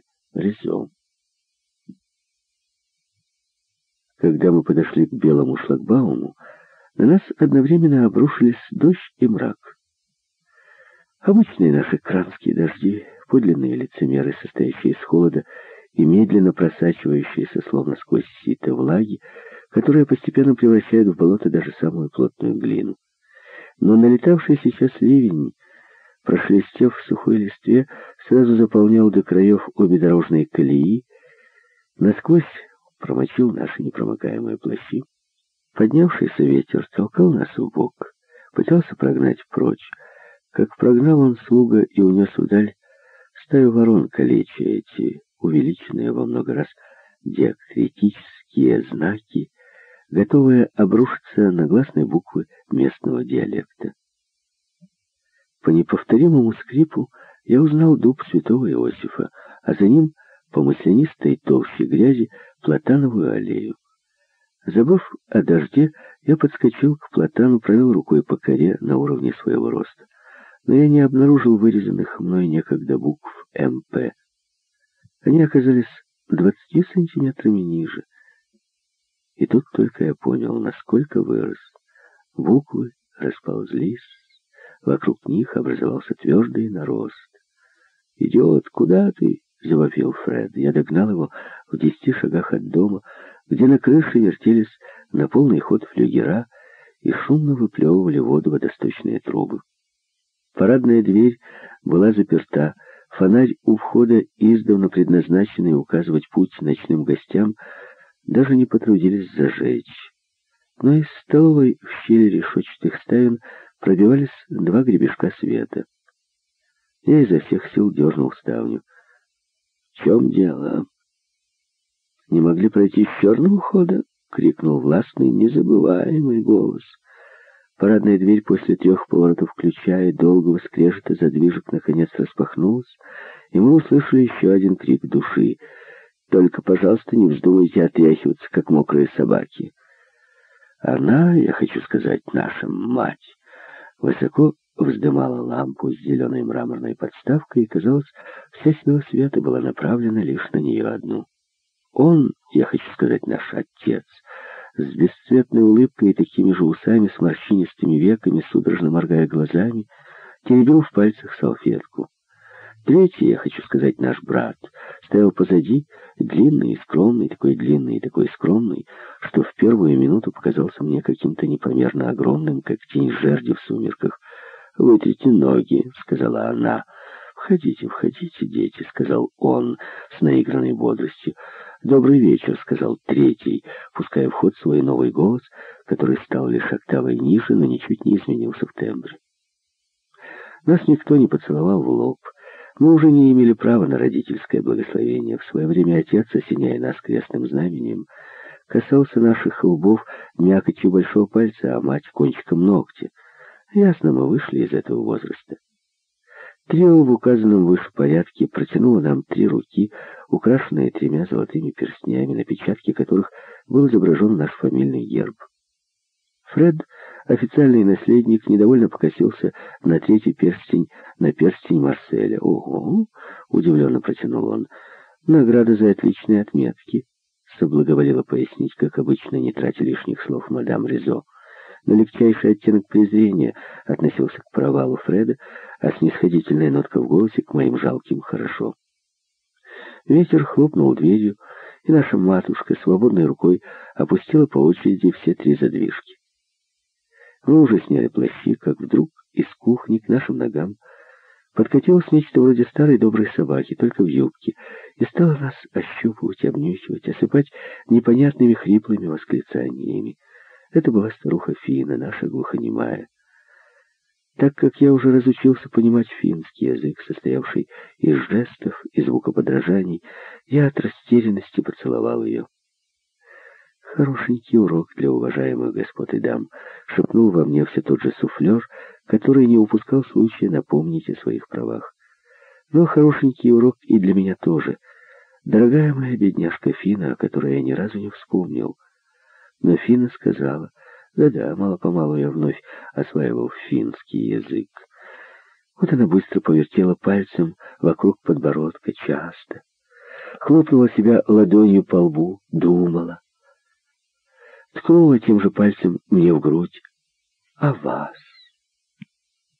Возмущенная этими вульгарными излияниями, мадам Ризо пожала плечами и проскрипела, повернувшись к нам спиной. Она теперь решительно ни на что не годна. Всегда была глухая, а теперь еще начинает слепнуть. Ну, как только найду другую служанку, непременно отошлю Фину в богадельню. Да, подтвердил отец с жестоким простодушием. После сорока лет, проведенных в нашей семье, она имеет право отдохнуть. Э, тут в коридоре не жарко, заключил Марсель. А что, если мы окончим обед? Через пять минут мы и впрямь закончили обед, отдав дань чисто спартанскому меню, принятому в хвалебном. После лукового супа и яиц в смятку Фина, которая натыкалась на все углы и подавала на стол чуть ли не ощупью, принесла компотницу, где лежало пять половинок груш.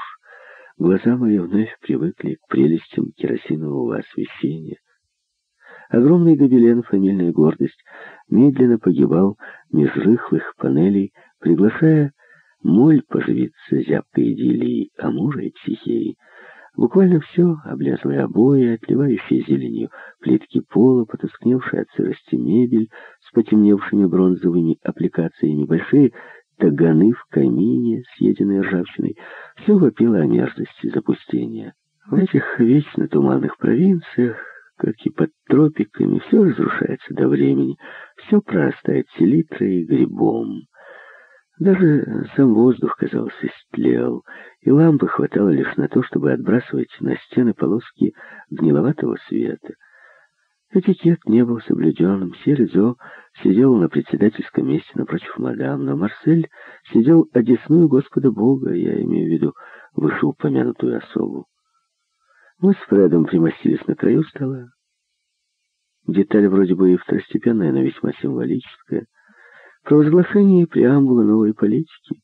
Мое место оказалось как нельзя более удобным для того, чтобы молчать и глядеть, и я беспрерывно осматривал всех троих. Он не особенно изменился, и только как-то осел, сгорбился, стал настоящим стариком и был порабощен супругой до корней волос, окончательно побелевших, как бы олицетворявших белый флаг капитуляции. И она не изменилась. Разве только кожа. Кожа не стала ни дряблой, ни сухой, ни сморщенной, как печеное яблоко, но она вся пошла мелкими трещинками, будто керамика, и кое-где в эти трещины уже въелась несмываемая грязь. Подбородок, не столь агрессивный, как прежде, уже не выражал злобы, зато ее сохранила линия губ — Злоба была последней гвардией, атакой последнего каре. Гусиные лапки у глаз разветвлялись, как пять пальцев руки, и взгляд за неимением лучшего еще настигал вас, как пощечина. Но что же означал этот огонек, временами вспыхивающий в зеленых зрачках? Что означал? Удовлетворение, интерес, любопытство. Не знаю, как его определить. Этот огонек, загоравшийся в ее глазах, на ту долю секунды, когда они останавливались на Марселе.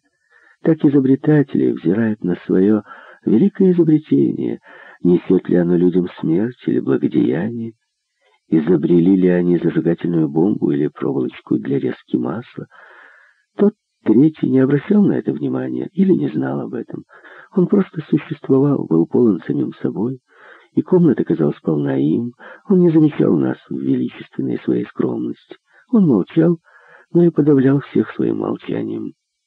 Этот субъект говорил с помощью плеч, даже ими не пожимая, и чувствовалось, что он откажется даже от такого способа беседы в тот самый день, когда на эти плечи лягут эполеты. Он был сын своей матери скорее по сознательному выбору, нежели потому, что она его родила сын своей матери в большей мере, чем она была матерью своего сына, и в качестве такового не столь решительной в боях, сколь в аннексиях, не столь уверенной в своих правах, сколь в своих привилегиях, что в сущности является наиболее характерным для буржуа, словом, сильный. сильный, как инерция движения, и унаследовавший от отца лишь капельку покорности, принявший форму подчинения собственной силе, пущенной раз навсегда между шлюзом выгоды и шлюзом принципов. Отличные отметки на всю жизнь и по всем предметам, включая близорукость. Прелестный наш Кропет. Как же легко проникал я теперь в его проникновенный вид. «Ну, ты решился, мой мальчик», — вдруг заговорил месье Резол. «Ты, надеюсь, будешь изучать право? Пойдешь по стопам отца?» «Я доволен. Я очень доволен твоим благоразумием. Я едва не подскочил от неожиданности». Месье Резо облизнулся и без дальних разговоров впился последними корешками зубов в грушу. Я тоже проглотил кусочек груши с таким чувством, будто глотаю избирательный бюллетень с единственной фамилией кандидата. Мое решение было того же порядка. Но за отцовским простодушием последовала прямая недобросовестность. «Удивительно», — протянула мать.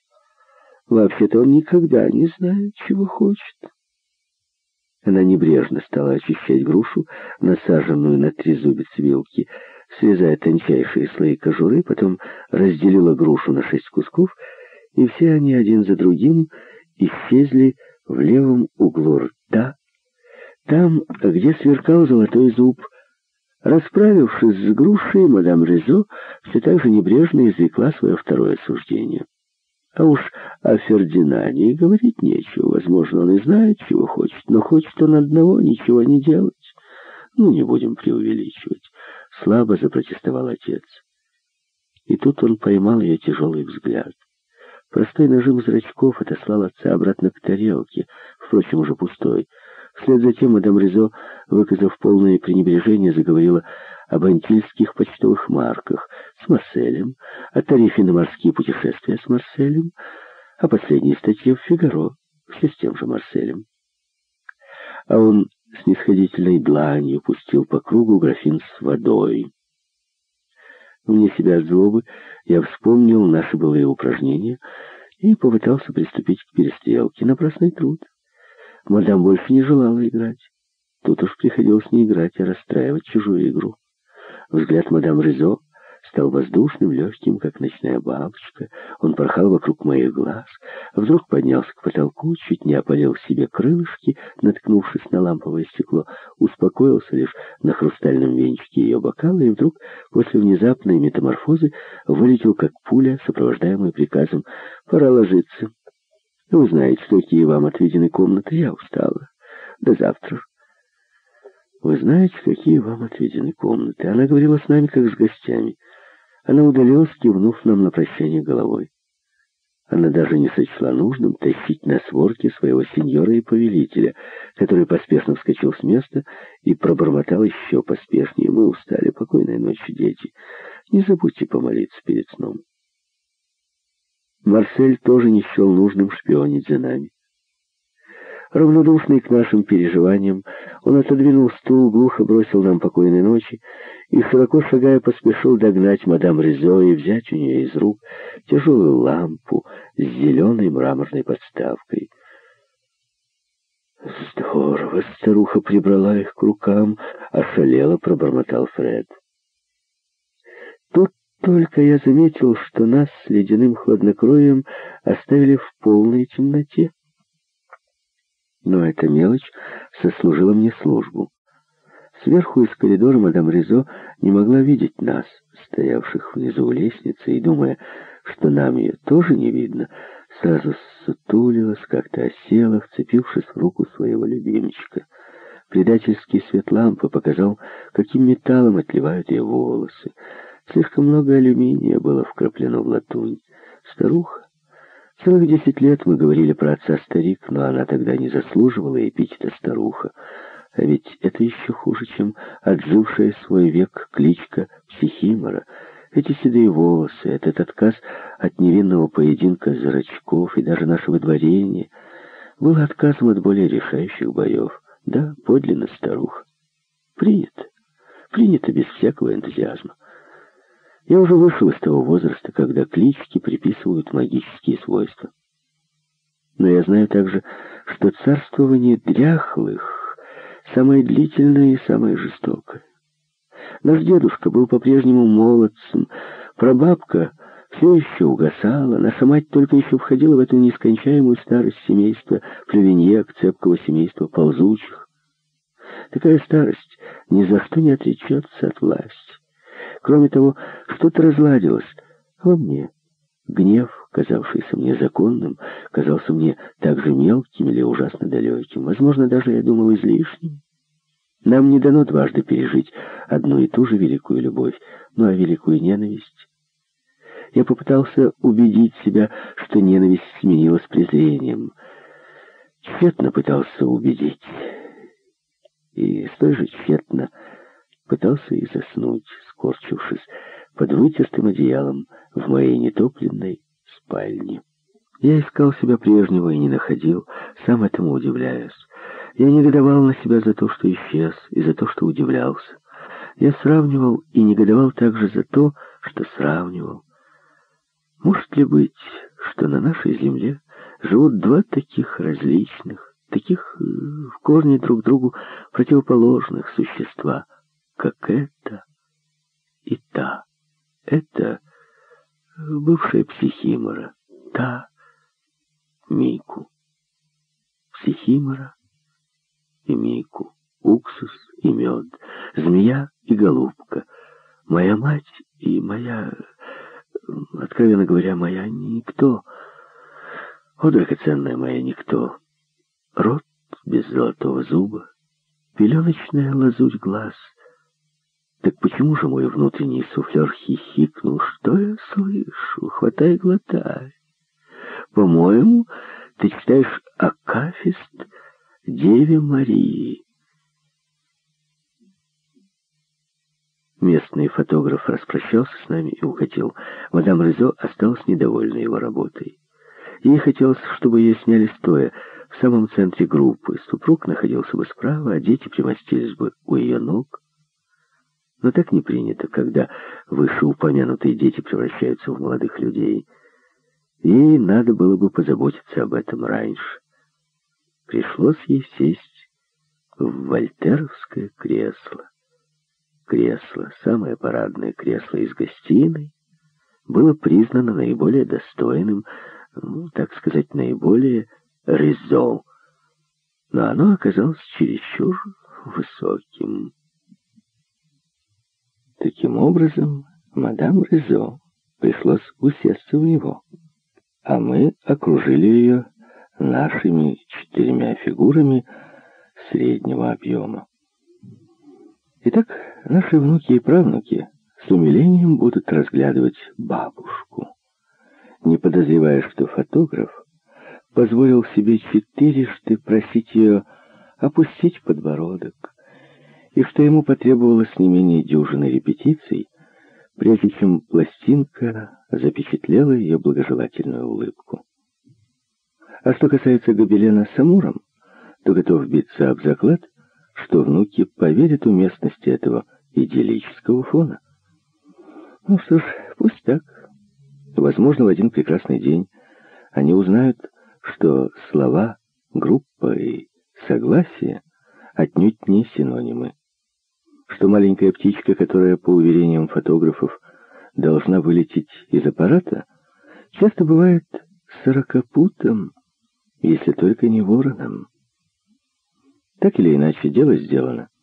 Нас вставят в рамку или положат между страницами семейного альбома. Впрочем, давно пора. Давным-давно пора было совершить этот акт. И отец более чем своевременно решил удовлетворить свое давнее желание. Очевидно, старик смутно предчувствовал, что это Первый и последний в своем роде снимок. Никогда уже мы не соберемся все вместе в полном составе. Начиналось наше окончательное рассеяние. Фотограф опередил нас всего на 10 минут. На грязной платановой аллее еще можно было различить четкие отпечатки шин его автомобиля. По-прежнему шел дождь. Сеял, как полагается в наших краях, не то дождь, не то изморозь. Стирально-туманный порошок, предназначенный для стирки лишайников, облепивших стволы платанов, обрушился на статую святого Авантюрена, свисал капельками с его носа. Мы вчетвером шагали к шоссе, к автобусной остановке. Четверо, из которых троим предстояло разъехаться в разные стороны. Все четверо, четверо мужчин, представляли в совокупности немалую мускульную силу, направляемую сверху из окна все тем же небрежным взглядом одной единственной женщины. Мадам Ризо не пошла нас провожать. Она устала. Она еще не оправилась от усталости. Наша матушка олицетворяла собой ту дипломатическую усталость, сведениями о которой были заполнены письма отца к нам, превращавшиеся таким образом в своеобразный бюллетень о здоровье, ту самую усталость, из-за которой мать вынуждена была сократить срок нашего пребывания под родительским кровом, отослать нас к любимым занятиям через 48 часов, проститься с нами одним взмахом руки. После такой долгой разлуки мне хотелось бы, чтобы вы погостили у нас подольше. Только один мсье Ризо говорил или произносил монологи, или просто извинялся, это как нам угодно. Он вытащил на свет Божий свою облезлую козью куртку, а сверху накинул плащ, в котором ходил охотиться на куликов. Его старая шляпа на манер широкополой античной шляпы, которую он носил только в деревне, шляпа ждала его на чердаке, отведенном под энтомологический музей, как и в былые времена сразу же превратилась в водосточную трубу, откуда вода лилась ему на усы. В руке он держал зонт, но забыл его раскрыть. Пока он разглагольствовал, никто его не слушал. Я то и дело чувствовал прикосновение к плечу ручки зонта, словно отец посвящал меня в рыцари. Э, прошу заметить, что на этот раз надо пожалеть Марселя. Меня назначили в Сегре, и, следовательно, я могу жить в хвалебном. Фердинанд поселится в Нанте, а ты в Анже. Вы оба будете не так уж от нас далеко. Но Марселю в Версале будет очень одиноко. Конечно, время от времени он может ездить по воскресеньям в Париж к дедушке и бабушке. Но, боюсь, помощи от них ему особой не будет. Фред громко чихнул, искривив свой длинный нос. Мсье Ризо вынул носовой платок, прижал его к губам, но не смог последовать примеру сына, и в конце концов он все же высморкался, чтобы избавиться от щекотки, раздражавшей его ноздри. Только после этого он решился раскрыть зонтик и снова зашагал вперед. Грязь второй подметкой прилипла к его ботинкам на пуговицах, и ботинки тяжело шлепали по лужам. Подняв зонтик еще выше, отец негромко хихикнул. Ни на что больше теперь не годны наши плювеньейки. После провала дедушки на последних выборах они совсем отошли от дел, не выходят из дому и каждый день обнаруживают у себя все новые болезни. Меня очень беспокоит, как они там распоряжаются своим состоянием. Мы поравнялись с домом Барбелевьена. Фермер тоже вступил в преклонный возраст. Казалось, ему стоило огромного труда переставлять ноги в деревянных саблу. Решительно все. Слуги, идеи, капиталы, родители и даже дубы, даже дорога, которую, как морщины, бороздили колеи, все отдавало старостью, все побуждало меня уйти и дать волю своей юности и дерзости, столь неуместным здесь, у нас. Мсье Ризо ухватил меня под руку. «А вот с тобой я не знаю, как и быть. Этот болван Ладур, по-моему, слишком поздно взялся за дело. В интернате католического университета уже не осталось ни одной свободной комнаты. Придется тебе жить в городе у некой мадам Полен, которую он нам порекомендовал, кстати, сам Ладор, а вот шлагбаум некогда белый. Вот и гудронированное шоссе, которое под дождем блестит, как цилиндр щеголя, а лепешки коровьего навоза, не поддающиеся ливню, сверкают, как новенькие кокарды. Проглотив слюну, папа договорил, «Славный человек, очень услужливый.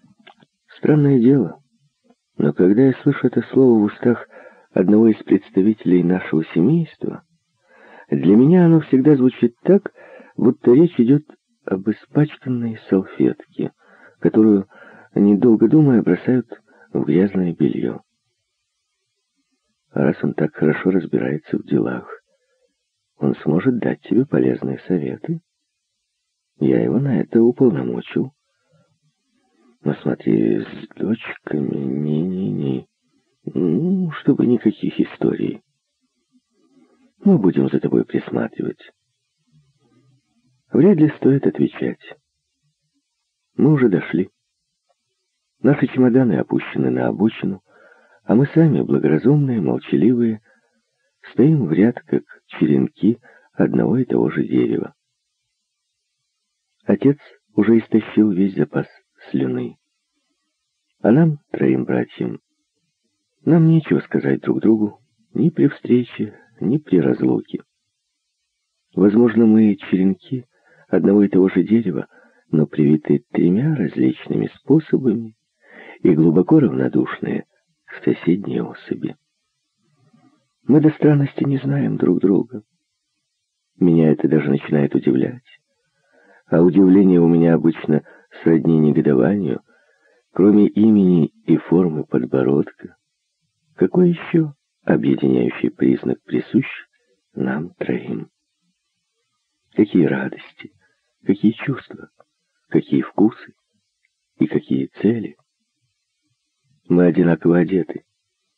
Но ведь это сходство в одежде, пище, в оборотах речи, присуще всем обитателям нашего края, будь они хоть заклятые враги. На самом же деле между нами нет ни малейшей реальной общности. Как раз этого и добивалась наша мать. Поэтому-то она рассеяла нас, отдалила друг от друга, тем самым ослабив нас. Ну, до свидания, дети. До свидания. Каждому достается прикосновение мокрых родительских усов. Одышливая колымага Бакажа, рейсовый автобус, подъезжает, окропляя по дороге изгороди, жидкой грязью. Не обернусь. Я и так знаю, что усы судорожно подергиваются, и что зонтик с трудом остается там, где ему положено быть, над папиной шляпой. Итак, в последний раз я вижу его среди этих промозглых руин, в этой рамке, которая так подходит ему, бедняге, и так полно его выражает. Пускай себе идет. Пусть очистит оскребок около крыльца свои стопудовые подошвы, прежде чем получить очередной приказ. Первое же его письмо наверняка будет сухим, кратким, категоричным. Только в письмах вдалеке от нас он становился тем, кем не умел быть в нашем присутствии, главой семьи. Но не будем слишком оплакивать его участь. Есть люди, которые обожают действовать под диктовку. Обо мне этого никак не скажешь. А ведь я заметил за собой, что, во-первых, уже не так хорошо умею пускать в ход клюв и когти. И, во-вторых, моя былая виртуозность не сослужила мне большой службы. Короче, детство, которым я еще очень горжусь, кончилось полным провалом. И право же я без малейших оснований истолковал его как победу. Даже по очкам это не победа. Добившись отъезда из Хвалебного и отправки в колледж, я фактически предоставил матери свободу действий. Она воздвигла новую форму своей деспотии, сделав ее еще более лицемерной и прочной. Неужели все начинается изнова? Посмотри-ка, вон там, на задней скамейке, я обернулся. Фред, сидевший позади, подмигнул мне. Марсель поднял одно веко и снова погрузился в чтение «Ля сианс Эляви». Присмотревшись, я узнал Кюре Летендара из прихода Соледу, который, надо полагать, едет в Верн, навестить своего коллегу и сейчас дремлет над раскрытым молитвенником. Однако я не узнал никого из крестьян, чинно сидевших на обитых молескином креслах, но уже не торопившихся, как некогда, приветствовать нас, поклониться господам Ризо. Да нет, нет, рядом с Кюре. А рядом с Кюре сидела полнотелая девица в ярко-зеленом пальто и соломенной шляпке с синей лентой, над которой трепыхалась гроздь лакированных вишен. Дорожные ухабы сотрясали ее мощный бюст, но даже виражам не удавалось своротить с места эту глыбу розового сала.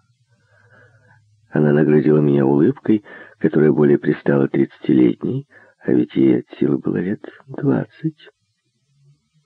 Улыбка скорее простодушная, чем глуповатая, чуть-чуть заговорщическая. Только по светло-карим глазам я и узнал ее. Это, несомненно, Мадлен, классический образец кранских девиц, которую не повернуть, ни замуж спихнуть. Ну, нечего сказать, хороша победа, хотя в свое время, как и у всех подобных девушек, у Мадлен был свой период стоимости и вульгарной прелести. Хороша победа, под стать всем прочим моим победам. Поздороваемся с ней покровительственным движением подбородка и побыстрее уставимся в окно. Главное, совершенно небрежно, ведь нам только что преподали урок небрежности. Я обернулся второй раз, желая убедиться, что не ошибся. Снова еле заметный поклон. «Ну да, толстуха, я помню, помню. В те времена я был юн, юн и неразборчив, как и ты. Ну, так похорони же эту тайну под двадцатисантиметровым слоем жира. Открой ее, моя многообильная, какому-нибудь молодчику, который привык ворочать пятипудовыми мешками. А главное, пусть ты никогда не узнаешь, что я тогда до того расчувствовался, что некоторое время идеализировал тебя, превратил даже в прототип милых грешниц. Ах, дурак, которого ты, дурочка, учила уму-разуму. Как видно, не унимался Фредди. Они там в ивняках, не скупя, складут в суп масло. И ты, каналья, подливаешь масло в огонь. Дать бы тебе по морде, любезный братец. Ведь ты же хотел сказать, как ты не ископал. Ты меня больше не интересуешь. Да как он может интересоваться мной? Он теперь даже не наперсник моих забав. Все мы были славные малые, когда спрашивали друг друга, в какую игру будем играть. Или когда раздумывали, какой бы номер нам еще выкинуть. Мой авторитет безнадежно упал в здешних Палестинах, и надо поскорее удирать отсюда. Ответим же уголком губ, вкладывая в свои слова максимум подтекста. Подумать только, что мы с ней некогда занимались любовью. А теперь помолчим, просмакуем это некогда, уместное, как соска во рту восемнадцатилетнего балбеса. Я вздохну спокойно, лишь когда вы, господа братцы, разъедетесь по сторонам, один в Ланд, другой в Париж. Даже не провожу на вокзал. Счастливого плавания. Мои братские чувства, целиком поставленные на службу семейной чести, должны непременно и немедленно взять небольшой реванш в доме Ладуров. Реванш и впрямь не бог весть какой. Мику? Она у зубного врача пропищала голосом чайки Сюзанна, встретившая меня на пороге. Оставалось одно плестись в Сантиму, чтобы просить отца отсутствующей Мику проводить меня к мадам Полен, моей будущей квартирохозяйке а затем отобедать с глазу на глаз с этой незнакомкой, которая сообщила мне тысячу и одну подробность о местонахождении убожных, об употреблении ключей, о необходимости пользоваться половиком и о священном и незыблемом часе трапез. В девять часов я был уже в постели, какой-то серединка наполовинку не мягкой, не жесткой, наподобие самой тетушки Полен, и не испытывал ни малейшего желания побродить, воспользовавшись своей совсем еще новенькой свободой. В конце концов, Мику тоже находится в своем периоде худобы, но, возможно, унаследует от матери ее дородность. И потом любовь. Что такое любовь? Море и любовь вечно новые они. Да что это со мной? Разные штучки-мучки, сантименты, романтика нет уж, покорно благодарю. Потерять свою силу нет, покорно благодарю. Я чуть было не раскис, но мой ангел-хранитель не дремлет. Мой ангел-хранитель вовремя открыл мне глаза. Какая-нибудь молоденькая работница в Трелазе или девчонка на побегушках из Дутра. Ну так, между прочим, это еще ничего. Хлоп! Вроде как э, наш старик бьет уток, но вы, дорогие мои барышни, обойдетесь и без сердечных излияний. Поскольку запись на курс лекций производится бесплатно, я запишусь и на юридический, и на филологические факультеты. Я мальчик серьезный.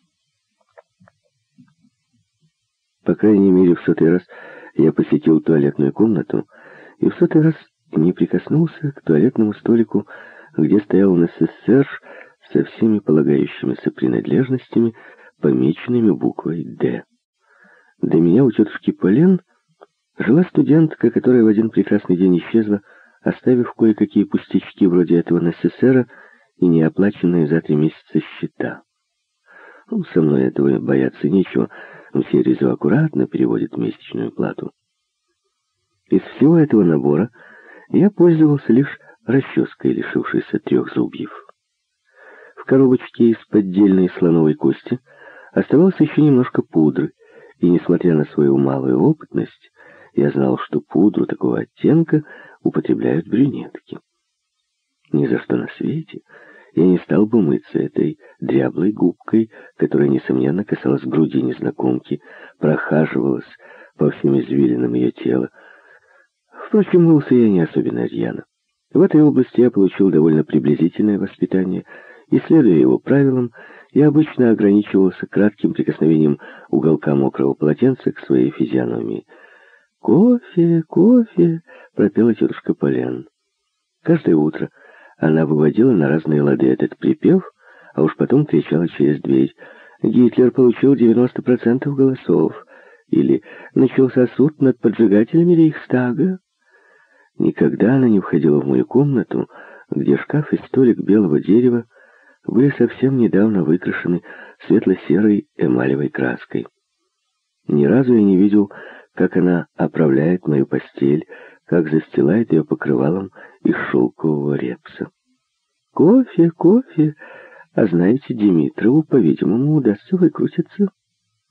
И так как я прошел прямо в столовую, она поспешно добавила, «Э, «Только не берите розовую чашку, вы знаете, это моя чашка. Доброе утро, дитя мое.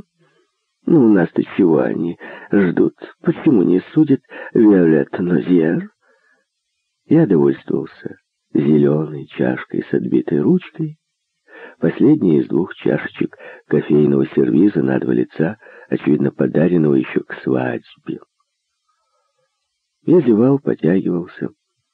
Единственным достоинством — моего нового жилища оказалось то, что здесь я мог пренебрегать хорошими манерами. Но зато окружающая обстановка способна была довести человека до сухотки. Деревянное яйцо валялось, как в гнезде в корзиночке с клубками шерсти. Портреты всех трех покойных мужей мадам Полен, профессиональной вдовицы, висели рядышком над буфетом.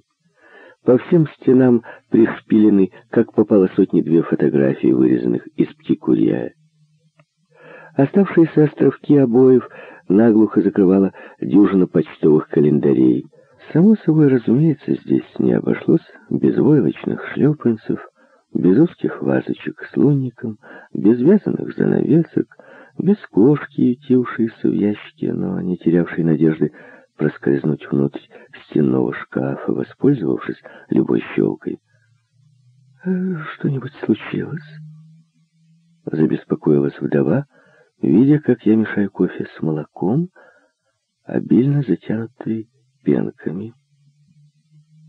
Не случилось ничего ни хорошего, ни плохого. Я перечитывал напечатанные на гектографе лекции профессора римского права, разложив их перед собой на столе. Текст Гая, долгое время известный нам лишь по сокращенному изложению, удалось восстановить полностью по полимпсесту, обнаруженному в 1816 году в Вероне Небуром и появившемуся в 1822 году в Париже в сборниках юридических текстов. Многократно комментированные кодексы Юстиниана стали предметом исторического объяснения. Ученый автор коего господин Ортолан Ортолан. Ортолан, какое-то птичье имя. Прямо на вертел просится. Так что же вы мешкаете, а? Уголья ада. Вы скучаете, не унималась мадам Полен. Ну, работа работой, но надо же и развлечься немного. Я поднял от лекций нос, потом поднял бровь и посмотрел на эту добрую душу, которые дали надлежащее наставление на мой счет. Недаром каждый денежный перевод сопровождался секреткой, а секретка постскриптумом. Не забудьте предупредить меня, если мой сын позволит себе какие-нибудь дурачества. А что мне прикажете делать без карманных денег? Я не желаю попадать в идиотское положение. Взгляд моей квартиры-хозяйки добрых пять минут не отрывался от птикурье, а тем временем вставные челюсти ожесточенно боролись с поджаренным гренком. Наконец ее языку удалось пробиться сквозь это препятствие. Я встретила мадам Ладур. Она спрашивала меня, почему вы к ним никогда не заходите. Это не устраивает моих родителей еле заметный подкоп. Первым делом возбудить у этой дамы, верного друга семьи Ладуров, легкую неприязнь к тому, кто шлет ей ежемесячные переводы. Во-вторых, мое сообщение соответствующим образом преподнесенное в равной степени насторожит Ладуров. Не знаю почему, но мне было бы неприятно, если бы Ладуры и Ризо обожали друг друга. Ладуры — милые сердцу обитателям хвалебного, стали бы мне менее симпатичны. Если же я не считаю нужным к ним идти, это уж мое личное дело. Американцы дорожат своими заповедниками, где им запрещено охотиться. Провинциалы дорожат своими музеями, куда они в жизни не заглядывают, возможно, из боязни узнать, что редкие монеты окажутся подделкой или вовсе не имеют той ценности, какую им приписывают. Иду на лекцию, мадам. Но на сей раз я пошел не на лекцию, а в парк. Это угрюмое благоразумие было в сущности ожиданием. Мой искус продолжался, и теперь я затягивал его умышленно. Самое главное было узнать, чего я хочу и что я могу. Если все зависело бы от меня, я немедленно сбыл бы букиниста учебники по римскому праву, сел бы в парижский поезд, попытался бы устроиться в столице на любую работу. Но это слишком походило бы на простое бегство. Попытаемся продержаться год. Таким образом, я смогу получить степень лицензиата по литературе. Но почему бы в таком случае не продержаться три года? В конце концов, я получу желанный диплом и в придачу тот, о котором мечтает отец. Да, на целых три года. В моем возрасте это же целая вечность. Мне становится тяжело при мысли, что своими знаниями я буду обязан состоянию родителей. Конечно, я не так уж глуп и не буду жалеть о том, что они дали мне образование, но теперь, когда я уже взрослый, я предпочитаю, чтобы дальнейшая моя судьба зависела лишь от меня одного. Я всегда завидовал стипендиатам, которым никто не мог сказать «Вам повезло, вы из богатеньких папенькиных сынков». Я завидовал освобожденным от лекций студентам, которые работали где-нибудь у нотариуса и ночами сидели над учебниками. Нет, я вовсе не любитель играть в трудности. Просто мне противно походить на этих лицемеров-семинаристиков, которые твердят о пасторском призвании, чтобы их приняли в коллеж и испаряются на завтра же после выпускных экзаменов. И у меня, как и у них, тоже будет нечистая совесть. Самое убийственное отчаяние познают не перебежчики, даже не те, кто способен на самую черную неблагодарность. Все мы этим грешим ну, в той или иной степени. Убийственнее всего быть псевдоновым человеком. Можно обмануть людей, но себя-то не обманешь. Тем же, кто утверждает обратное, несомненно, повезло. Они сумели обуздать свою гордыню, а я нет. Вот почему эта гордыня дает себя знать. О, юность, которой не видно конца! Зачем приходится так долго существовать, прежде чем начнешь просто жить, просить, прежде чем начнешь брать, получать, прежде чем начнешь давать другим? Декабрь, слишком мягкий в этом году, благосклонно разрешал небу, этому огромному корыту, подсинивать серые тряпки зимних облаков. Вдоль розового гравия дорожки стоят голые каштановые деревья, уже давно растерявшие всю свою листву, которую собрали граблями в куче. Один каштановый лист, похожий на семипалую кисть руки, упал на плечо статуи и, воспользовавшись удачей, щупает мрамор. Эта вольность — хороший для меня урок, и моя рука, лежащая на колене, невольно сжимается. На розовом гравии играла целая куча ребятишек. Хорошеньких, чуточку глупеньких, чуточку избалованных и курчавых. На свою беду, наделенных природой удивительной кожей, слишком свежей, слишком тонкой, словно это и не кожа, а ее изнанка, такой кожи не выдержать оплеух. Я твердо в этом уверен, я сам никогда не был ребенком. В бассейне кружатся с дюжину парусников — ложатся на бок, норовят сорваться с веревочки, и вдруг вопли. Какая-то шхуночка попала под заводной броненосец, и он разворотил ей всю корму. Почему же хнычет эта крошка-судовладелец? Чего требует? Ведь, спустив на воду населенную золотыми рыбками утлую лодчонку, он шел на риск. Себя самого не взыщешь самим собой не сплутуешь. И вот почему, милый мой, ты спешишь убежать. Ты плутуешь. Ты бежишь, потому что на повороте дорожки, ведя на буксире двух сестричек, показалась девушка. Мику. Мику. Шхуночка, которая, как ты воображаешь, может пробить твою броню. Да ты лопату пониже держи. Двое чернорабочих разгружавших со мной одну из шести барж с песком приплывших по Луаре, осыпали меня грубоватыми советами и потешались над моим неумением орудовать лопатой, над моими скованными движениями, над тем, что я без особого восторга распил с ними литр красного вина, ибо здешние правила вежливости требовали от новичка выставить этот самый литр. Я изнемогал, но не позволил себе ни малейшей передышки. Я был и взбешен, и доволен.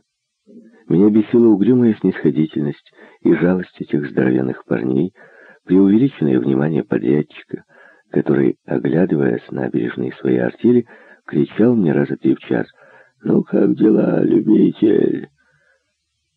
Но особенно меня бесило то, что я не умел работать лучше.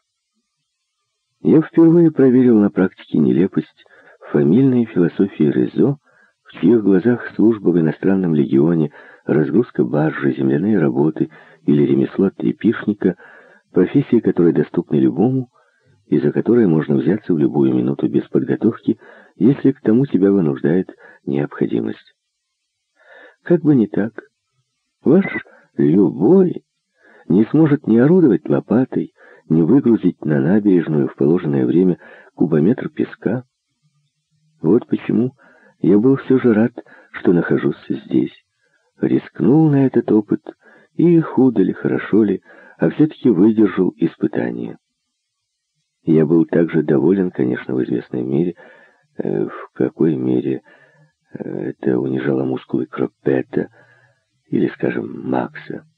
Я был доволен, узнав, что бывают мускулы умозрительные, как и мышление, и что единственный стоящий аппарат для измерения мышечных усилий — это лопата или какой-нибудь другой рабочий инструмент.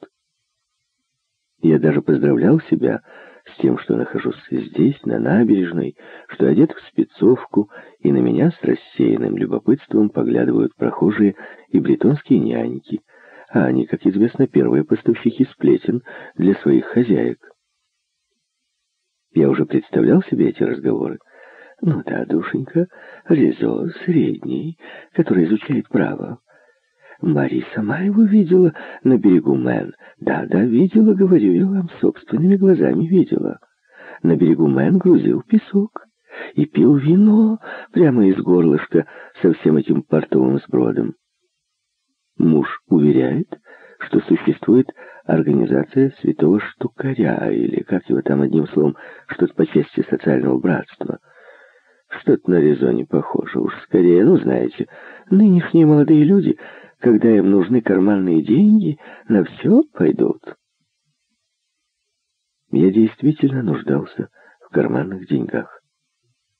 Но мой поступок объяснялся иными причинами, совершенно непонятными для этих кумушек, а частично непонятными и для меня самого. 22 декабря, накануне распуска студентов на каникулы, я получил и ничуть не удивился тому, ниже следующую открытку. Мы проведем Рождество в Париже у плевеньяков. Поэтому мы можем взять домой только Марселя. Оставайся у мадам Полен. Прими наши наилучшие пожелания. Пожелания эти не сопровождались даже положенной кредиткой в 50 франков и родительское поэтому, равно как и только Марселя, звучало особенно мило. «Давайте встретим праздник вместе», — предложила мне тетушка Полян. Но я не терплю, когда меня жалеют, и поспешил отклонить предложение под весьма благовидным предлогом. В студенческом клубе будет бал. Меня влек иной бал но и речи не могло быть о том, чтобы я стал домогаться милости попасть туда. Сочельник я провел на улице, более точно на улице Пропижон, где проживали ладуры. Я меланхолически шагал взад-вперед, упорно отказываясь уступить презренному типу, который раз двадцать шептал мне на ухо. «Посмотри, какой славненький медный звонок! как он аккуратно вычищен. Ну, позвони же. Проходя мимо Ладуровского дома во второй раз, я заметил девиц, возвращавшихся с полуночной мессы, и притаился в арке ворот. Проходя в третий, четвертый, пятый раз, я чертыхнулся, не выдержав ликующего наплыва запахов, шумов, огней. Когда я проходил в десятый раз, из-под голубоватых век занавесок еще просачивались вялые отблески света. Когда я проходил в двенадцатый раз, все огни уже потухли, и, воспользовавшись этим обстоятельством, я дернул звонок в приступе какого-то яростного самоутверждения. И тут же бросился на утек. Пробежал километра два. И очутился на берегу Мэн, которая плескалась у устоев моста и, журча, перекатывала желтые отблески фонарей, стоявших вдоль выщербленной набережной. При тусклом свете мне удалось прочесть извещение, написанное дегтем на фанерной доске. Требуются чернорабочие. А, -а, а, а почему бы и нет? Случай подсказал мне, как использовать рождественские каникулы. В пять часов, когда уже начало смеркаться, подрядчик свистнул и приказал мне сложить инструмент. Выйдя из дощатой хибарки и заперев дверь на висячий замок, я вдруг услышал чей-то голос и вздрогнул от неожиданности. «Нет, вы только полюбуйтесь на этого молодца. Только полюбуйтесь на него». Слишком жизнерадостный голос, слишком иронический для простого рабочего. Впрочем, я его сразу узнал. Пришлось обернуться, выдержать чужой взгляд. Толстяк Ладур шагал прямо по песку с уверенностью человека, который знает, что такое жизнь, который помнил собственную молодость и которому плевать на свои шикарные ботинки. Вот уж не думал застать вас здесь. И самое смешное, что эта партия песка предназначена для кирпичной фабрики, которая тоже находится в моем ведении. Голос его изменился, приобрел дополнительный оттенок уважения, подкрепленного пожатием руки. «Значит, вы не уехали на каникулы?» Я молчал сконфуженно, упрямо. «Ах, я дурак!» — продолжал Ладур. Как это я не сообразил? Остаться без каникул? Ну, знаете, ваши родители перебарщивают. Очевидно, это критическое замечание показалось ему непомерно резким, потому что он судорожно глотнул и вдруг накинулся на меня. А вы, черт побери, если вам уж так приспичило работать ради карманных денег или по каким другим причинам, мне неизвестным, вы могли бы вспомнить о моей конторе, куда вас охотно примут. Подрядчик приблизился к нам и, засунув свои громадные руки за фланелевый пояс табачного цвета, вежливо прогремел. «У меня для вас есть кубов пятьдесят». «Ну, очень хорошо, очень хорошо». Небрежно бросил одноглазый и обернулся ко мне. «Поскольку ваш рабочий день окончен, увожу вас с собой. Да-да, именно в этом наряде. Пускай дети посмеются. И так как я отрицательно качнул головой, он поспешил добавить. Только не подумайте, что я не одобряю вашего поведения. Русские методы, по которым студенту доверяется лопата, вполне себя оправдывают. Но все-таки вам найдется более подходящее дело, чем разыгрывать из себя грузчика. Генерал отведал раз, отведал два и съел все, что стояло на столе. Писала графиня Сигюр о генерале Дуракине. Я не зря сослался на этот высокий авторитет. Обстановка была такая же. И все прочее в том же приторном конфетном стиле. Так как у меня всегда были собачьи клыки, Я бесился, чувствуя, что смешон с головы до пят. «Ну, как живем?» — простонала мадам Ладур. Затем последовали осмотр, ощупывание, гримаски, массаж моих знаменитых железок. Еще разок, и здесь, и здесь. И вся ладуровская свора, не протявков ни слова упрека, собралась вокруг меня, тычась мокрыми мордочками, ластясь лапками. Я медленно продвигался вперед, бросая сквозь зубы «Здравствуйте», оглядывал всех и вся тяжелым взглядом фаянсовых глаз, как у обиженного бульдога. Удивительный дом.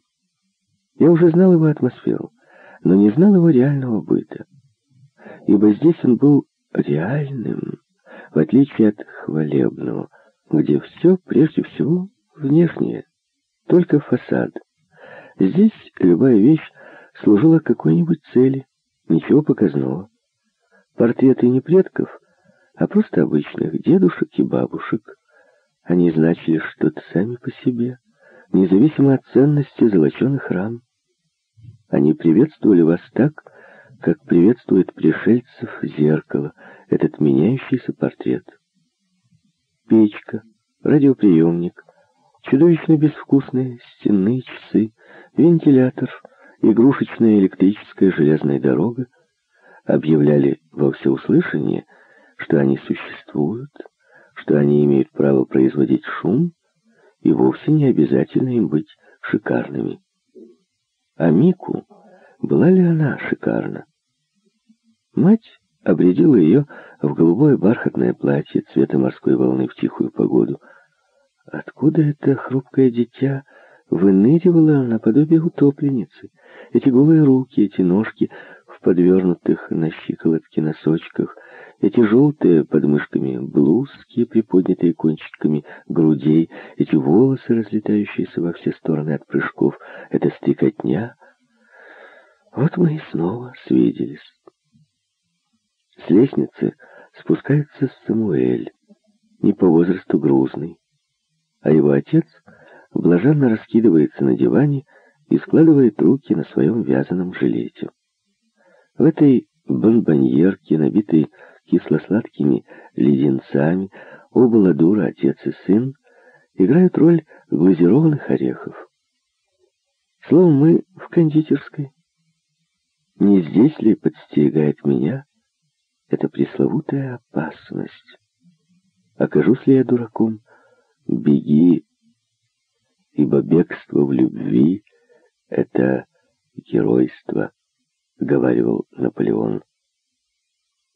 Опасность, скорее всего, представляю я сам. Как определить это странное чувство, возникшее в неведомых мне самому уголках души, от которого во рту становится горько? Если ты сам опасность, тогда беги, ибо это еще хуже. Я не убежал с поля брани генерал отведал и так далее и тому подобное. Ну, вперед к чувствительным романсам. Начнем розовую эру. Я говорю «эра», ибо она покажется мне нескончаемо долгой, как и всем, кто через нее проходит. Однако же он короток, этот отрезок времени, где ты сам глупее поэзии почтовых открыток, этот отрезок, через который проносишь свои переживания, как ящик с фарфоровой посудой с надписью «Не кантовать». Розовая эра, эра греха, жеманства, целомудренных ласк. Я, очевидно, действовал скорее наподобие весеннего ливня порывами, но за мое перевоспитание уже взялись. 1 января приходи к нам завтракать.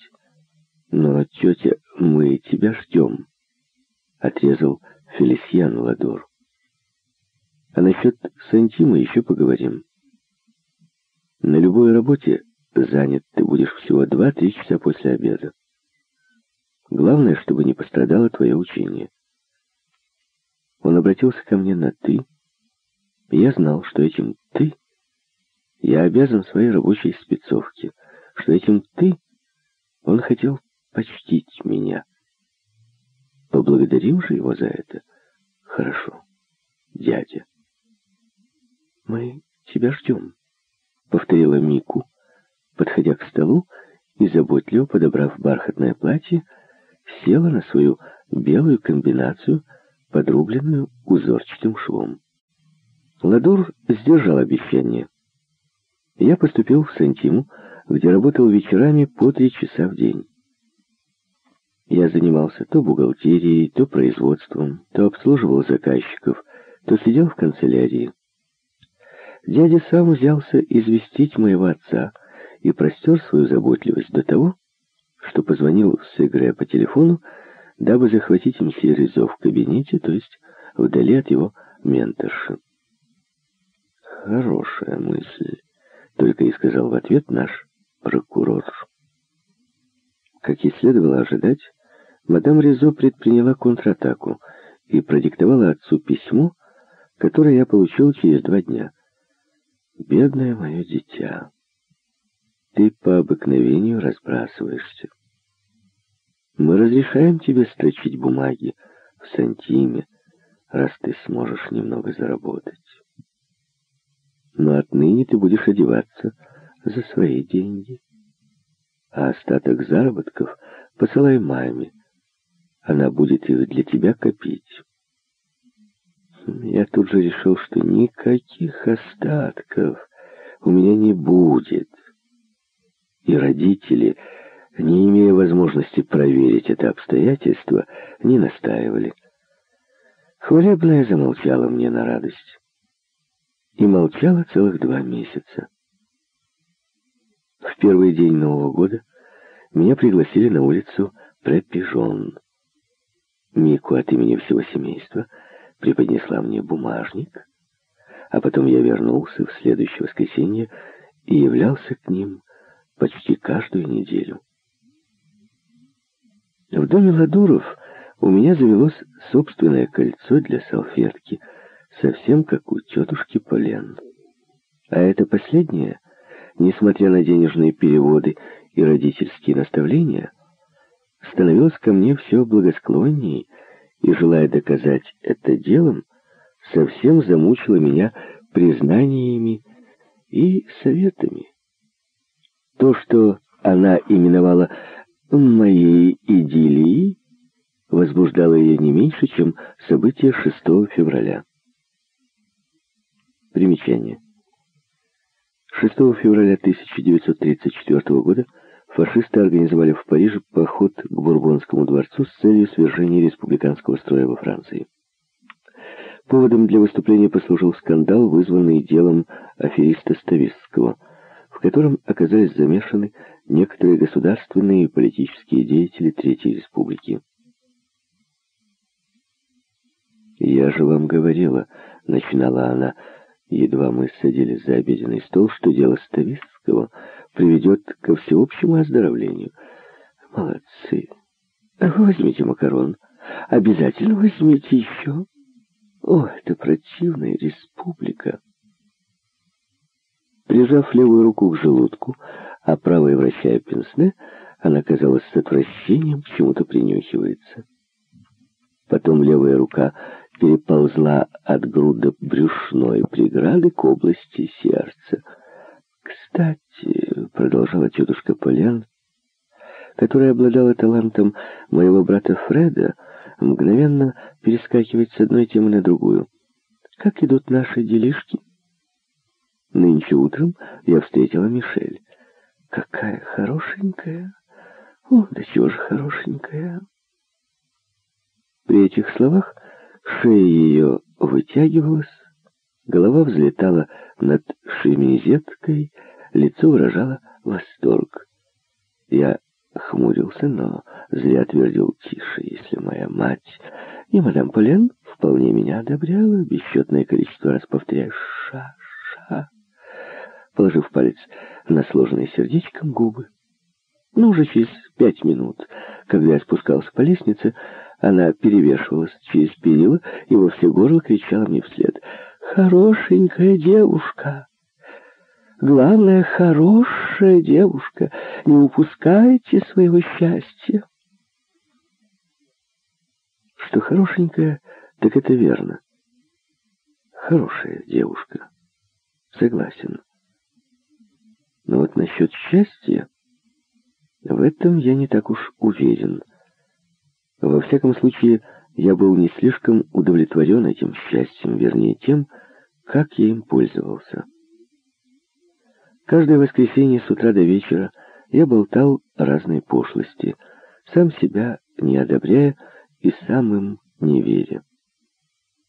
Закрыв за собой дверь дома Ладуров, я сразу же понимал, до чего я смешон.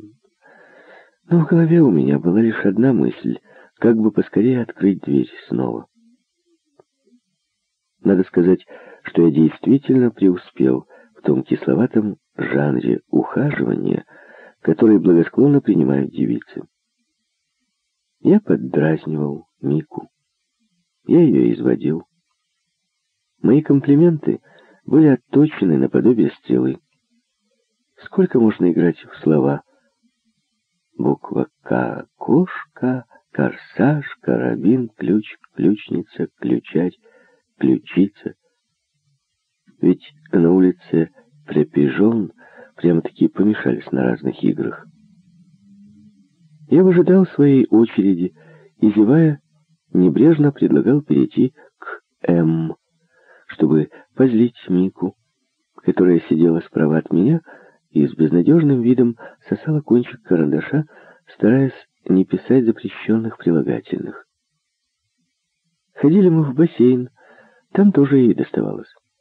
Я беспощадно донимал ее теми колкими любезностями, какие взяли себе на вооружение мои сверстники из боязни прослыть дамскими угодниками, предпочитающие гладить своих избранниц против шерсти.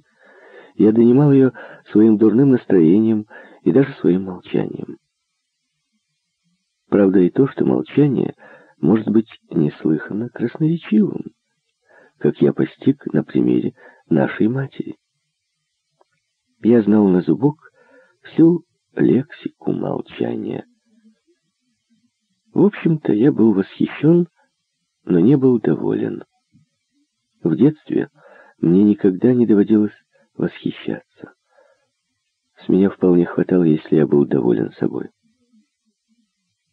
Конечно, я еще весь сжимался под благословенным дождем понимающих улыбок, однако постепенно терял свою непримиримость, свою природную диковатость. Иной раз, копаясь в главной картотеке Сантимы, проверяя графу за графой неописуемое разнообразие Богоматери, святых, главной приманки туристов-пилигримов, я вдруг вспоминал, что Мику — дочь торговца во храме, и что семейные добродетели Ладуров можно весьма точно оценить по преискуранту благодати. И все же в ближайшее воскресенье я в угоду ладуровскому клану преклонял вместе с Мику колено перед гипсовыми статуями, которые в глазах главы дома были обыкновенной статьей дохода. Так я стоял, сложив на груди руки и чувствуя в ногах зуд нетерпения, а моя милая тем временем перебирала перламутровые четки — Евангелие, страница 146, шушукались сестрицы. И Мику пододвигала ко мне свой молитвенник, чтобы я читал вместе с ней. Я бросал на страницу быстрый взгляд, но сразу же поднимал глаза и упирался взором в вырез ее платья, в две впадинки, две солонки у ключиц ниже которых был рассыпан перец мелких родинок. Этот перец уже изрядно сжег мне глаза. Пасха. Вторые каникулы в городе. Мадам Резо жалуется на печень. Ну и ладно. Жить вдалеке от нее — это еще не значит жить в изгнании. К тому же мне не терпелось показать себя у Ладуров. Я решил продемонстрировать им свой первый сшитый на заказ костюм, который потребовал немалых жертв всего моего заработка в новом году. Я чувствовал себя смелым и каким-то очень значительным. По-настоящему новой вещи бывает лишь на юных плечах. В этом возрасте выйти от портного — это как бы выйти из бедра Юпитера. Вот что преображало меня в этом году и умоляло моих далеких братьев, все еще щеголявших в уродливых костюмах из магазина готового платья, столь любезных сердцу нашей матушки. Памятный день. Чем-то мы его отметим. В энный раз за шесть месяцев я вошел в дом на улице Пропижон, крышу которого венчали две длинные трубы, казалось, вязавшие нескончаемое вязание из дымовых нитей. Мадам Ладура, она ждала восьмого ребенка, тоже вязала, сидя у себя в спальне. Было одиннадцать часов двенадцать минут, и эта точность показывает, что я не потерял головы. Мы с Мику случайно оказались одни и сидели в разных углах розовой кушетки. Признаюсь, что с этого дня я амнистировал стиль Луи Филиппа. И оба мы, я это чувствовал, молчаливо пришли к соглашению, что пора кончать. Слишком долго мы не начинали. Мишель с преувеличенным вниманием полировала ногти, а мякоть ладони. Я подвинулся. Подвинулся всего на пол ягодицы. Мы сидели профиль в профиль, брюки и юбочка туго натянуты на коленях, и молчали самым красноречивым образом. Я сделал вид, что мне неудобно сидеть, и снова приблизился к ней, ну же на обе ягодицы. Как приступить к делу? Можно, например, сказать Мишель, ты по годам уже невеста, мне не хотелось бы, чтобы ты отдала свою руку случайному... Нет-нет, лучше сказать по современнее, Мишель, давай-ка мы с тобой столкуемся, а? Я приблизился еще да так удачно, что мы прижались друг к другу. «Потешился», — бросила Мику. Оттенок нетерпения, прозвучавший в ее голосе, не делал чести победителю, но я переиначил эту реплику.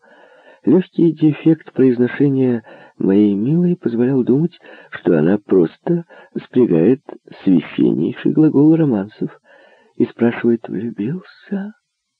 По правде сказать, я и сам не знал, влюбился ли я. Но мне почему-то казалось, что это не так уж важно. Ответим на всякий случай. Да. Я сижу с затуманенным взглядом, хищно скрючив пятерню, и сейчас самое для меня главное — это склониться к ней. На миг наши подбородки находятся в волнующей близости. Потом повинуются взаимному притяжению, что роднит их с намагниченным железом. Только один требует Мишель, приоткрыв губы, все в мелких трещинках и пахнущие розовой помадой. Извините, мы знаем катехизис. Бог тоже один, но существует он в нескольких ипостасях. Леденчик, еще леденчик. Однако я приоткрыл одно веко, нарушив этим деликатный обычай. «Видик у тебя должно быть идиотский», — шепчет насмешник и добавляет докторальным тоном. «А знаешь, наши бабушки называли период первых поцелуев молочный месяц. Смотри, оба. Молоко, оно легко скисает». Зря это он. Розовая помада прелестна на вкус. Но тут хлопает дверь. Мику отнимает свои губы, верхняя чуть-чуть дрожит, отталкивает мою руку, проявляющую повышенный интерес к одному из буравчиков, приподнимающих свитер. Скажем маме. Ни за что на свете. Очевидно, речь шла о ее маме. Но я подумал о своей и разразился неестественным, испуганным смехом при мысли, что «Мадам Рисо, можно посвятить в тайну этой умилительной сценки. Тщетная предосторожность. В наше озеро сиропа рухнул камень. Мы думали, что хватит нам не начинать, а пришлось сказать себе просто «хватит». Через три дня мадам Ризо ликвидировала инцидент. Напевая какой-то мотивчик, я возвращался из Сентимы. Я ничего не подозревал. На улице было очень хорошо, и, взбегая по лестнице, я пожалел, что расстался с солнцем до того новым, что оно даже заново выбелило стены дома. В передней ни души, ни души в столовой. Только из моей комнаты доносились какие-то звуки. Очевидно, воры. Я оттолкнул плечом полуоткрытую дверь, и она заплясала на петлях. Картинки. Здесь были воры, но воры особого рода. Мое белье, бумаги, одежда валялись на кровати, на столе, прямо на паркетном полу. Мадам Ризо лихорадочно выкидывала содержимое из ящиков комода. Мсье Ризо сидя верхом на стуле и, уперев подбородок в резную спинку, следил, позевывая за ее действиями. В углу в напряженной позе стояла тетушка Полен, бессильная свидетельница обыска, сложив на животе руки, ввинтив как гайку голову в сборочке жабо. На шум моих шагов ко мне разом повернулись три лица. Три пары глаз, различные по цвету, по силе выражения, уставились на меня. «Ты слишком роскошничаешь, милый мой», — проскрипела матушка, ощупывая мой серый костюм. «Фред тебе пишет?» — простонал батюшка. «Ваши родители потребовали», — пробормотала вдова. Целые две минуты длился невообразимый яролаж. Все трое говорили одновременно, и все трое говорили, конечно, свое. Наконец, из общего гула вырвался пронзительный голос моей матушки. «Дайте же мне, наконец, сказать!» Усталость, на которую она ссылалась последние полгода, пошла ей явно на пользу. Голоса стихли, и матушка продолжала среди всеобщего молчания. Красивые костюмы шьют для красивых девушек. Жак, поговорите откровенно с этим молодым человеком. Не слышно, как мышка, ступая своими войлочными туфлями, тетушка Полен вышла на цыпочках в переднюю. Старик окончательно обмяк. Теперь уж не только подбородок, но и усы, даже нос уткнулись в спинку стула, и чувствовалось, отцу ужасно хочется, чтобы стул превратился в ширму. «Я собрал все сведения», — с трудом начал он, — «и так бесполезно отрицать, что по нашему приказанию за тобой следили», — уточнила мадам Ризо. «Не зря твой отец помощник прокурора. Вы с Фердинаном доставляете мне много хлопот» счастью, у нас есть Марсель. Речь в два голоса, подкреплявших один другой, тянулась бесконечно. Выяснилось, что мы с братом настоящие преступники.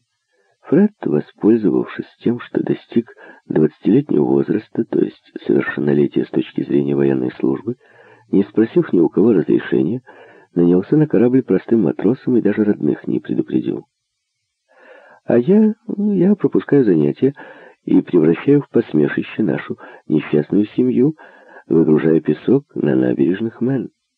А главное, я ставлю под удар свое будущее, волочась за одной из девиц Ладур, открыто появляясь каждое воскресенье на улице Пропижон. Подумать только, Резо и какая-то Ладур. Это же патология, патология. Никто не спорит, что у Ладуров есть деньги — но если я так уж люблю деньги, что само по себе отвратительно, хотя и не так уж неразумно, можно найти и деньги, но попозже, со временем, а главное, деньги не с таким дурным запахом. попозже, ибо я не достиг еще возраста, когда о таких вещах думают серьезно. Мсье Резо разгорячился, разразился тирадой, которую мать подкрепляла междометиями. Конечно, обстоятельства переменились. Приходится волей-неволей пересматривать кое-какие нормы, удовлетворять кое-какие житейские нужды, но только сообразуясь с духом общественных, а главное семейных добродетелей и с единственной целью сохранить для Франции неприходящие ценности. А для нас резо сохранить это превосходство, это интеллектуальное главенство, которое не уступит веку ни на йоту, которое вдохновляется известной традицией. Коль скоро ни личные заслуги, ни приобретенное состояние не способны более защитить нас, естественно, что положение человека и его устройство принимают с каждым днем все более важное значение. Неудачники, вступающие в неравные браки, представляют сейчас особую опасность. Ведь все члены семьи обязаны множить преимущества, даваемые им положением и брачными союзами, дабы противостоять расшатыванию устоев. Неравный брак всегда промах, а в наши дни это прямая измена. А сверх того, революция и ее авангарды, марширующие впереди в самых различных обличиях, отнюдь не единственная опасность. Слава Богу, возникло долгожданное обратное течение. Однако оно равно несет с собой самое лучшее и самое худшее вперемешку. Толпа выскочек, вообразившая, будто они созрели для того, чтобы плыть в одном фарватере с буржуазией, спускает на воду свой утлый челн в надежде, что их возьмет на буксир какой-нибудь болван вроде меня. Ибо я болван. Хуже того, болван неблагодарный. Всем известно, какова цена этим так называемым благородным предлогам, которыми прикрываются вольнодумцы, то есть люди, считающие себя передовыми и в лучшем случае заблуждающиеся. Они хотят отомстить за свою никчемность, демонстративно вступая в союз с завистью или амбициями маленьких людей, а иной раз вступают в брачный союз с их дочерьми, за невозможностью блистать, быть на видном месте, довольствуются ролью светлячка среди посредственности. Впрочем, однако, не смешивать посредственность врожденную и посредственность, так сказать, добровольную. Такие, как Леон Резо, как Эдит Торюр, храня в душе всю утонченность своего воспитания, которое, которому, ну, словом, ты сам знаешь, хотя притворяешься, что тебе наплевать. Ну, так вот, Леон Ризо, Эдит Турюр и даже Фред не падут так низко, ибо их посредственность есть явление приходящее, трамплин, который позволит им последовательно, рывками достичь благосостояния, что, в конце концов, гарантирует необходимую стабильность элиты. Но чего можно ждать от меня, проникнутого духом отрицания, который не может оправдать даже какая-нибудь случайная удача? Короче, отрезала мадам Ризо, которая явно не терпелась перейти к практическим действиям. Мы не можем больше допускать, чтобы ты употреблял во зло свою свободу. В конце месяца ты переедешь от мадам Полен. Мы добились для тебя от ректора отдельной комнаты в интернате. Ну, там существует хоть какая-то дисциплина. Вечерами учащихся не выпускают без специального разрешения и без достаточных оснований. Кроме того, ты уйдешь из Сантимы и посвятишь все свое время изучению права. И чтобы ноги твоей не было в этих ладуров, довольно. Кончен этот грошовый флирт. Э, ну, не будем, не будем об этом. С неестественной живостью подхватил мсье Резо, который, взглянув на мой подбородок, очевидно заметил, что он угрожающе выпятился. А может, даже и связь, докончила моя матушка, выплюнув это подозрение уголком губ и наблюдая уголком глаза за моей реакцией на эти слова. Реакция была простая. Ценой неслыханных усилий я удержал свой кулак, потянувшийся к ее золотому зубу. Я молча поднялся и начал собирать и приводить в порядок свои пожитки. Отец удивленно открыл глаза, а мать, да, поняла. «Тебе только девятнадцать», — медленно проговорила она, — «и мы можем лишить тебя денежной помощи». Я тщательно сложил стопкой свои сорочки и кальсоны, впрочем, это явное преувеличение, стопка получилась жалкая, Потом вынул бумажник, тот, что подарила мне Мику. Кусок бумаги, который я оттуда извлек, был денежным переводом. Все так же молча двигаясь по комнате, будто родителей здесь и не было, я швырнул этот аргумент к ногам матери. Я видел, как она побледнела, потом на лице ее появилась страшная улыбка, предвещающая бой. Она сделала несколько шагов тоже с таким видом, будто не замечает моего присутствия, и ровным голосом сказала отцу, который с перепугу сосал кончик усов — я не хотела скандала, но нас к этому вынудили. Придется заглянуть на улицу Пропижон. Мсье Резо, который решительно перепутал все роли и играл сейчас роль удрученной горем матери, поднялся со стула и засеменил вслед за женой. Дойдя до порога, он оглянулся — «Ну-ну, мальчик, умоляюще», — протянул он. Конечно, мне следовало бы промолчать. До сих пор я вел себя с шиком. К несчастью, во мне не ко времени пробудились мои лицедейские таланты, и именно им я обязан ненужной репликой «Следуйте за мадам». А я... я выхожу из семьи. Я с грохотом захлопнул дверь перед самым его носом. Они уехали. «Почему ты не закатил ему пощечину?» — крикнула мать уже на лестнице. И тут же я услышал робкий протест и «иду, иду», которая указывала, что мсье Ризо не так уж радуется перспективе сразиться с одноглазым ладуром. Потом шум мотора, прорычавшего на всех своих четырех скоростях, удалился и заглох. Слышны были лишь протяжные крики стежей, на всем лету разрезавших вечерний свет. Вот я и один. Наконец один. Наконец свободен. Наконец сам отвечаю за себя. Да, но какой ценой? Что произойдет на улице Препижон? Вдруг меня осенило. Я понял, какая ждет меня беда. Беда, в которой я не отдавал себе отчета, которая пока еще казалась мне непропорционально огромной по сравнению с вызвавшей ее причиной, ибо совершенно верно, что мы узнаем цену людям и вещам, лишь теряя их. Если бы я раньше заметил их автомобиль, я проколол бы шины и первым поспел бы к ладурам. Может быть, мне бы удалось смягчить удар. Я уже знал, что этот удар разобьет мой хрупкий фарфор. Правда, такие удары закаляют, но я не желал им подвергаться. Я хорошо знал свою мать и хорошо знал Ладуров. В результатах встречи можно было не сомневаться. Присев к столу, я уткнулся подбородком в скрещенные руки. Мои сухие волосы топорщились на висках. И вдруг с губ моих слетела удивительная мольба — Господи, сделай чудо.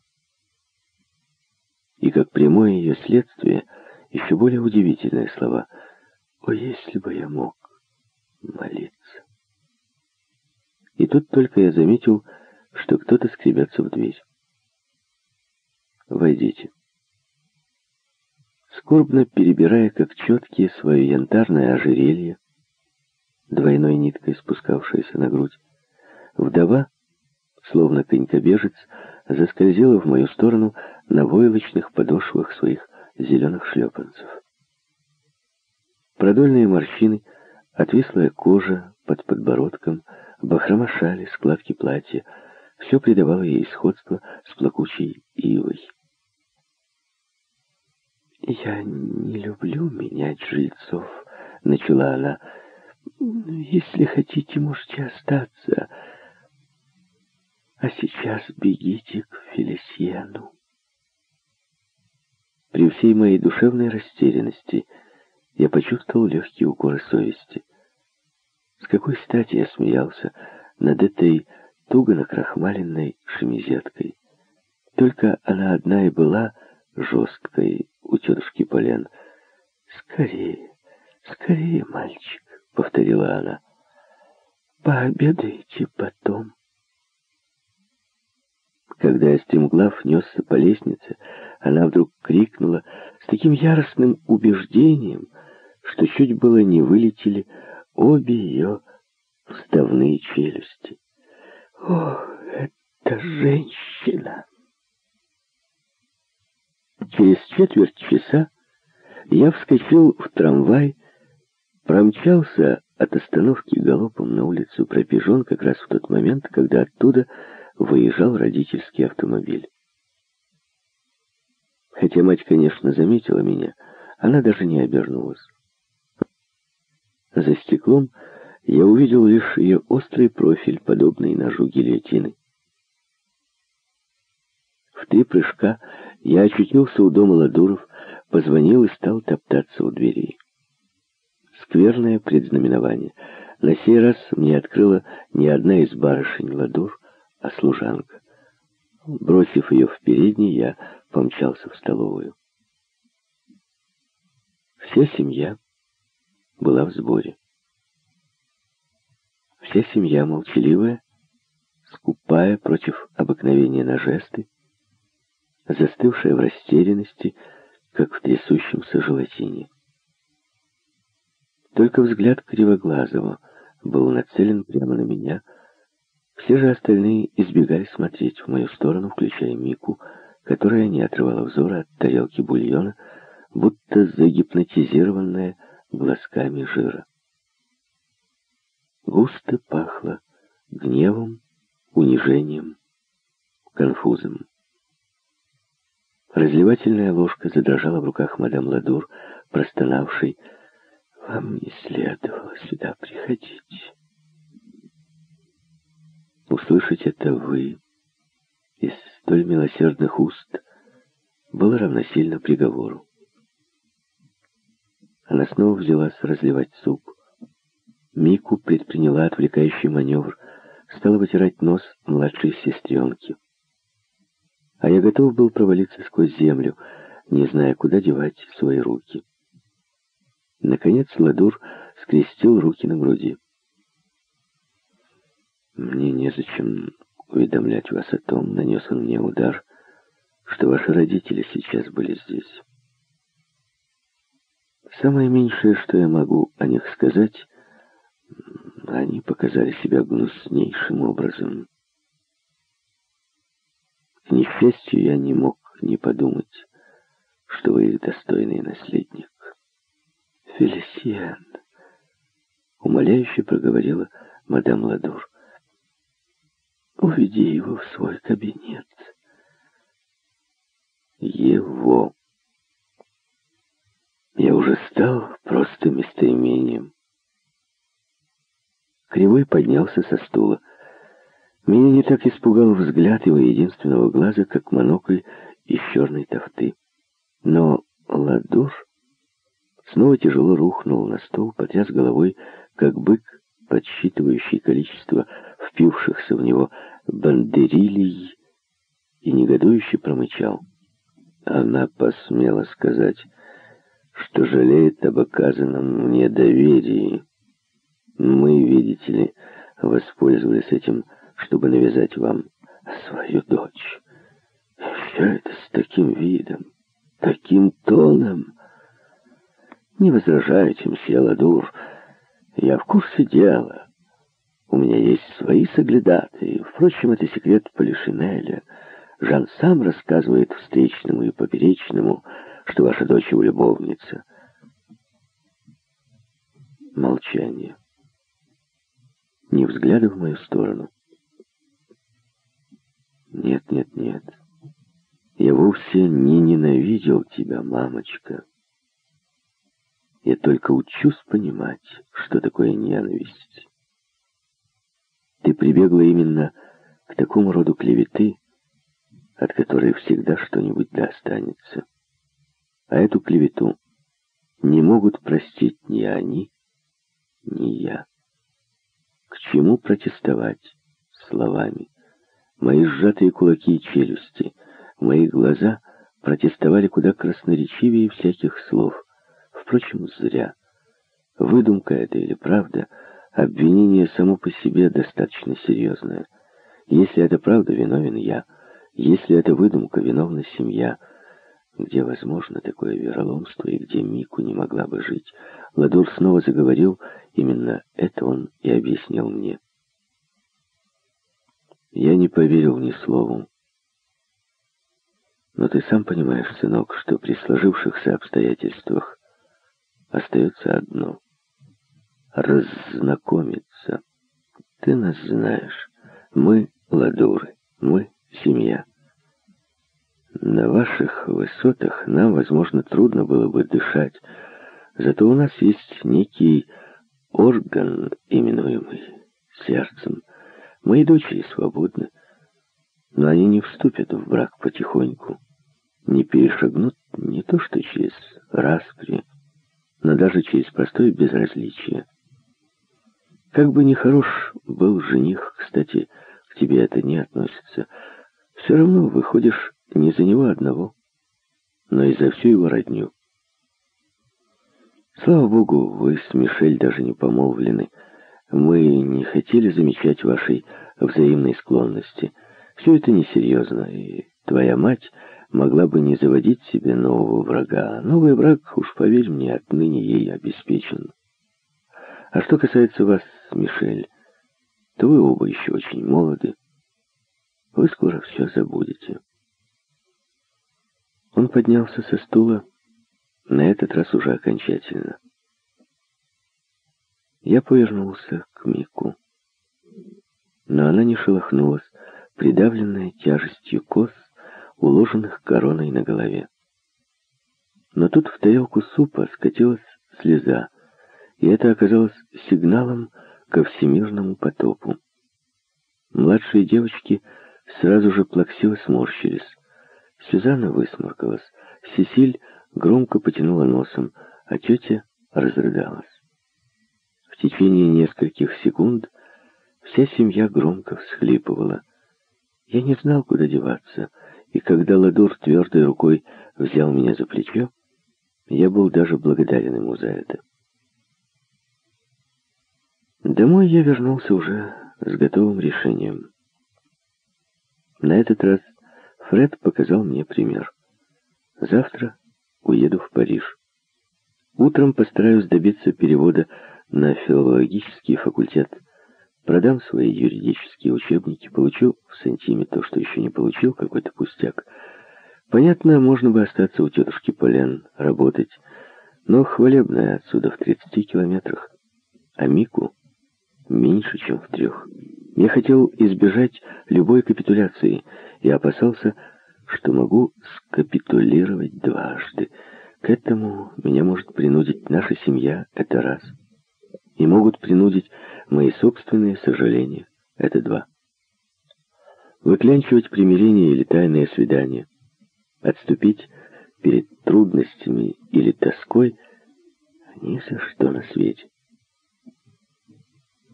«Ну как?» — спросила вдова, когда я вошел в переднюю. Но, взглянув на мое лицо, не стала ждать ответа. Так я и думала. Идите, миленькие, обедать. Но мне хотелось побыть одному. Мне равно претили и лапша, и жалость. Простите меня, но я не хочу. Вдова вздохнула и перестала настаивать. Число людей, вздыхающих из сочувствия ко мне, — и тут же меня зачеркивающих катастрофически росло. Я понял, что ей хочется меня поцеловать, и не сердился на нее за то, что она верила в силу поцелуев. Ладуры тоже обожали лизаться. Завтра я уезжаю в Париж. За мой пансион было заплачено до конца месяца. Я мог бы потребовать половину денег, и уверен, мадам Полен не отказала бы мне. Но мелкие подачки влекут за собой крупные. Уеду без гроша. «Подумайте хорошенько», — сказала вдова, нервно перебирая свое янтарное ожерелье. Все было уже обдумано. Я заперся в своей комнате и в мгновение ока уложил чемодан. Вещей было немного, и в чемодане осталось пустое место. Ну и пусть.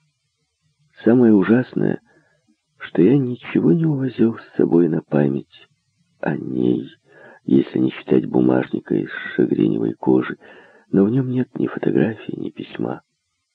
Когда кожа перестанет певуче скрипеть под пальцами, что останется от этого очаровательного детского приключения, которое открыло мне совсем новый мир? Открывшийся, но тут же закрывшийся мир. У меня перехватило дыхание. Ну и ладно. Я уже начал было и любить эту малютку. Я мог сказать это не стыдясь, поскольку моя печаль была более живописна, чем мои любовные утехи. Я начинал любить ее, и моя мать догадалась об этом раньше меня. Ее поступок выдал ее, окончательно определил ее сущность. Больше всего она боялась вовсе не Мику, а того, что я могу быть счастлив. Она принудила меня учиться на юридическом факультете, потому что не может преуспеть человек в деле, навязанном ему против воли. Она устроила эту сцену у Ладуров, имея перед собой двоякую цель. Одну Главное — добиться моего непослушания, извлечь из него решающий аргумент, чтобы удалить меня из семьи, сделать мое учение чрезвычайно затруднительным, а мое будущее неверным. Вторая цель побочная — нанести мне удар в ту потаенную область чувств, куда ей, несчастной, не было доступа. Несчастный? Странное озарение.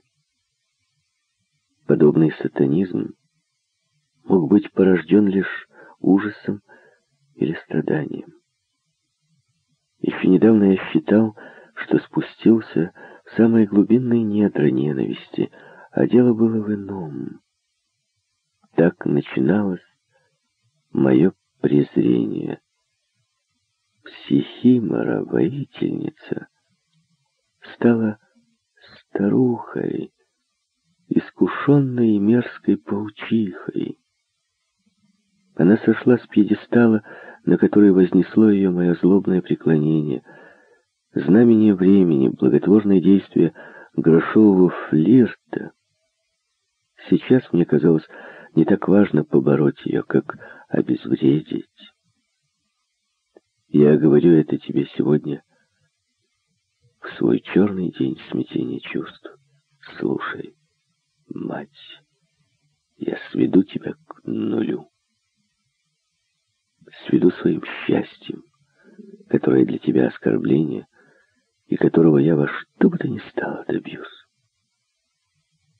Тебе просто было отказано в счастье, или ты его потеряла. Конечно, мы еще далеки от цели, и пока ты еще можешь торжествовать. Лежа одетый на кровати, я хорохорился, надеясь заглушить боль.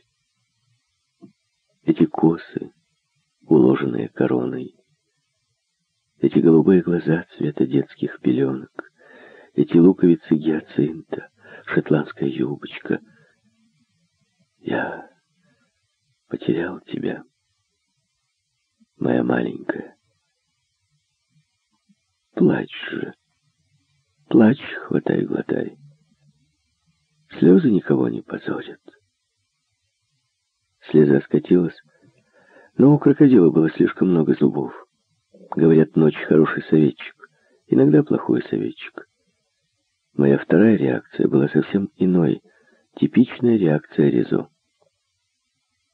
Завтра на заре я буду считать, что ладуры слишком легко выставили меня из дома, что Мику, эта плакса, вела себя бог знает как. Уже на вокзале, перед самым отходом поезда, я, повинуясь какому-то жестокому наитию, подошел к цветочному киоску и велел отправить мадемуазель Мишель Ладур венок из белых цветов, великолепный кладбищенский венок с традиционной надписью «От неутешного». Инстинкт подсказал мне, лучше разрушить, чем потерять. Резо в лакеях — это же скандал. Я не нашел ничего лучшего, чем этот черно-красный жилет, даже не новый, слишком широкий в груди, объем которой равнялся 80 сантиметрам. Красный цвет, иной раз цвет стыда, я сохранил для семьи. Она, наша семья, еще заплачет по этому поводу кровавыми слезами. Скажем откровенно, я достаточно легко решился на этот шаг, столь оскорбительный для родни. Я видел только одну прелесть в этом унижении — возможность в моем лице принизить всех Ризо скопом. А черный цвет на моем жилете, цвет бунта, худо ли, хорошо ли вознаграждал меня за другой его цвет. Впрочем, повторяю, я не мог найти себе иной работы, и это предложение, исходящее от студенческой взаимопомощи, давало немалое преимущество, ибо лакей живет, как известно, на всем готовом. Кроме того, это решение свидетельствовало о моем мужестве. Нужда порождает мужество, но гордыня тут же присваивает себе эту вывеску. Под ее сенью переход в разряд гнущих спину, необходимость молча глотать обиды, вырабатывают силу характера. «С этими ехидными надо быть философом», — твердила рыженькая Одиль, переводчица, телефонистка и отчасти мажордом, когда одна из двух барышень, пом наших хозяек, кричала ей в трубку свои распоряжения. Это философия нищих, это атмосфера покорности, это лакейская разновидность стоицизма ничуть не удовлетворяла меня. Ведь если ты обязан не забываться, то еще вправе не забывать и о своем достоинстве. Дабы спасти нас от сатаны, Господь Бог принял облик человека. Дабы спастись от моего демона, я пошел в лакеи, временно, конечно, до дня своего воскресения. К тому же не то это слово «лакей». Мои довольно-таки двусмысленные функции в шикарном отеле на авеню «Обсерватуар» позволяли мне щеголять званием мэтр-дотеля. Габриэль Пум Младшая из сестер и настоящая хозяйка отеля снабдила меня фраком, который оказался мне столь же узок, насколько широк был жилет. «В основном, — сказала она мне, — вы будете убирать мужские номера, а Эмма — дамские. Вечером, то есть с шести часов, надевайте фрак. Ресторана я не держу, но кое-кто из приличных клиентов — заказывает себе э, в номер ужин из соседнего ресторана. Сестры Пум особые, весьма респектабельные, их полностью характеризуют каракулевые манто, серые шелковые шарфики и пронзительные дисконты. Обе сестры Пум, по-французски это яблоко, Кальвиль и Ранет. Одна еще не старая, а другая вся в морщинах, условились по обоюдному согласию не слышать, как с треском взлетают к их лепным потолкам пробки от шампанского на любовном рандеву. Начиная с такой-то цены, а цены здесь вообще были высокие, любой постоялец становился более чем порядочной особой. В лоне известного комфорта, а ковры в номерах были толстые, скромность заглушает критику. Поэтому-то Мишель Пум, старшая сестра, еле поводила бровью, когда три юные особы запирались в номере «Люкс». Этот номер восемнадцатый числился за таинственной шубой, которую все именовали господин депутат.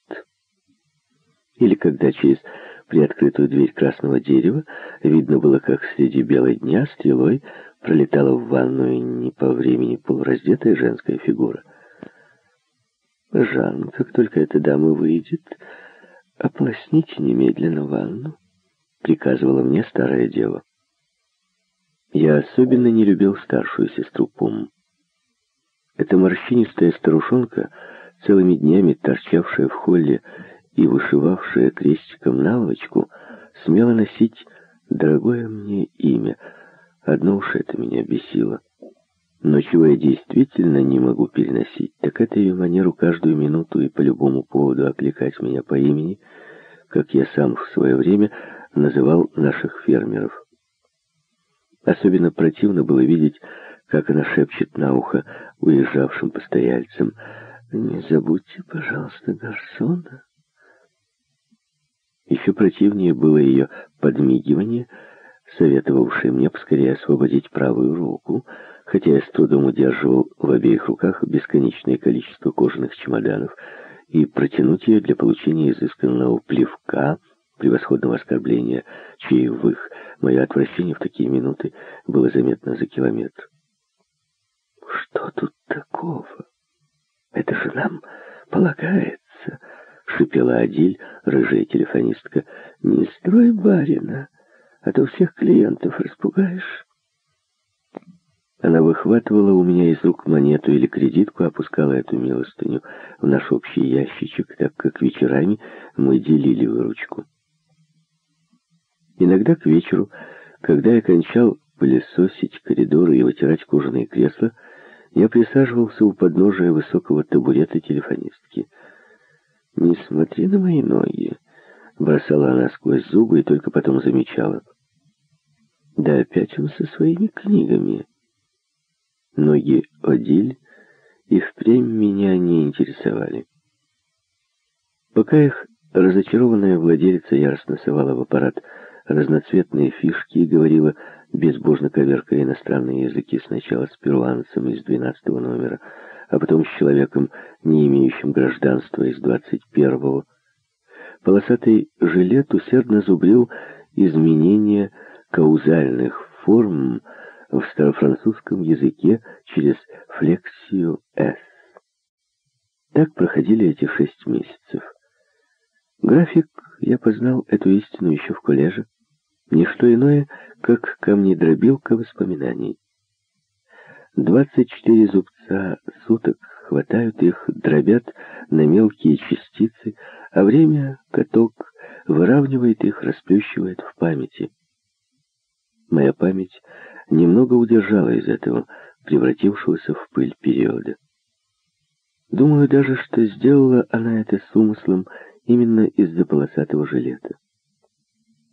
Порывшись в памяти, я, конечно, обнаружу там Габриэль и Мишель Пом, двух архангелов, наподобие Гавриила и Михаила, расправляющих шарфики, как крылышки, готовых лететь на зов по первому требованию своих постояльцев.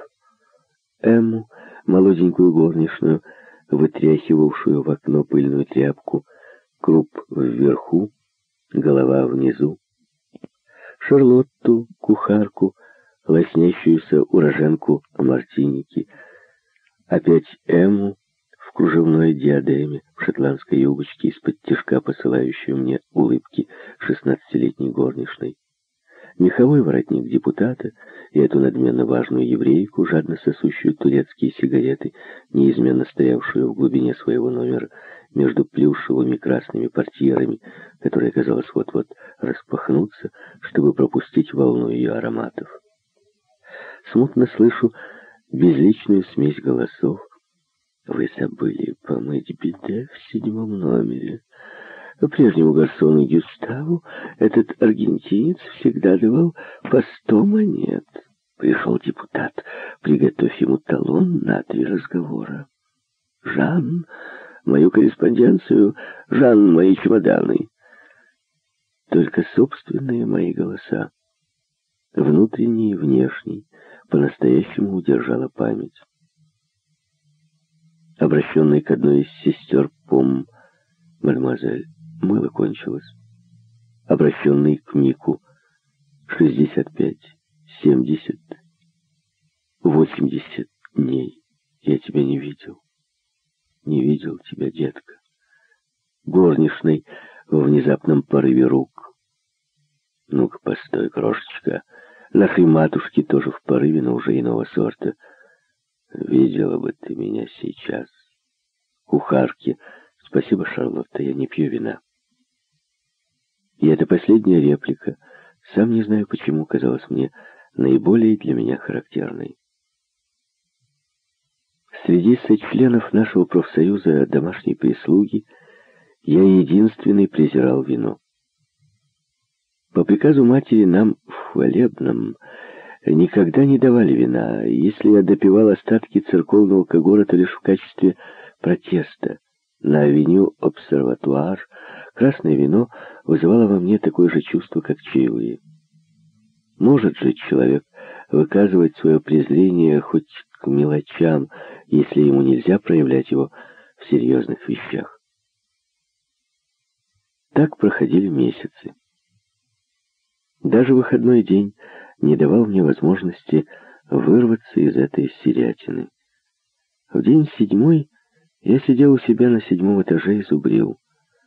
Впрочем, и каждый вечер от девяти до двенадцати я брался за книги, отказывался слушать, как Эмма кричит под дверью, значит, мы с тобой так никогда и не сходим в кино, и отказывался слушать, как увещевала ее Адиль.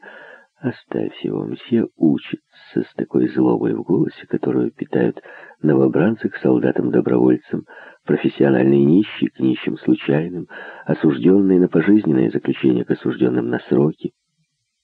Искушение отдавалось у меня в коленях щекоткой, но другой голос шептал мне над ухом пророческие слова.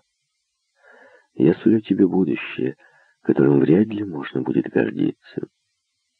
А я не был слишком горд настоящим, чтобы терпеть его и впредь. Я погружался в учебники. А тем временем рядом, за перегородкой, храпела кухарка Шарлотта, и в коридоре две старушонки далеко за полночь обменивались горестными соображениями о том, как подорожал лук парей. Само собой, разумеется, в зимнюю сессию я выдержал экзамены. Но пусть вас не слишком раздражает это, само собой разумеется. Я не добрал одно очко, но жюри смилостивилось надо мной, приняв во внимание чрезвычайные обстоятельства, в которых мне приходилось заниматься. Возвращаясь на авеню Обсерватуар, я бесился и решил немедленно восполнить недостающее очко. Однако крошка Эмма в этот вечер оказалась менее сговорчива, чем мои экзаменаторы. Она позволила пригласить ее в кино, позволила ее обнять, пощупать, отвезти в нашу овчарню, втащить к нам на седьмой этаж, но, очутившись в своей комнате, захлопнула дверь перед самым моим носом. Вернувшись ни с чем к себе в коморку, я разразился смехом. Только сейчас я понял, чем заинтересовала меня эта заурядная девчонка. Подбородок у нее был круглый, волосы коротко острижены, руки шершавые от работы.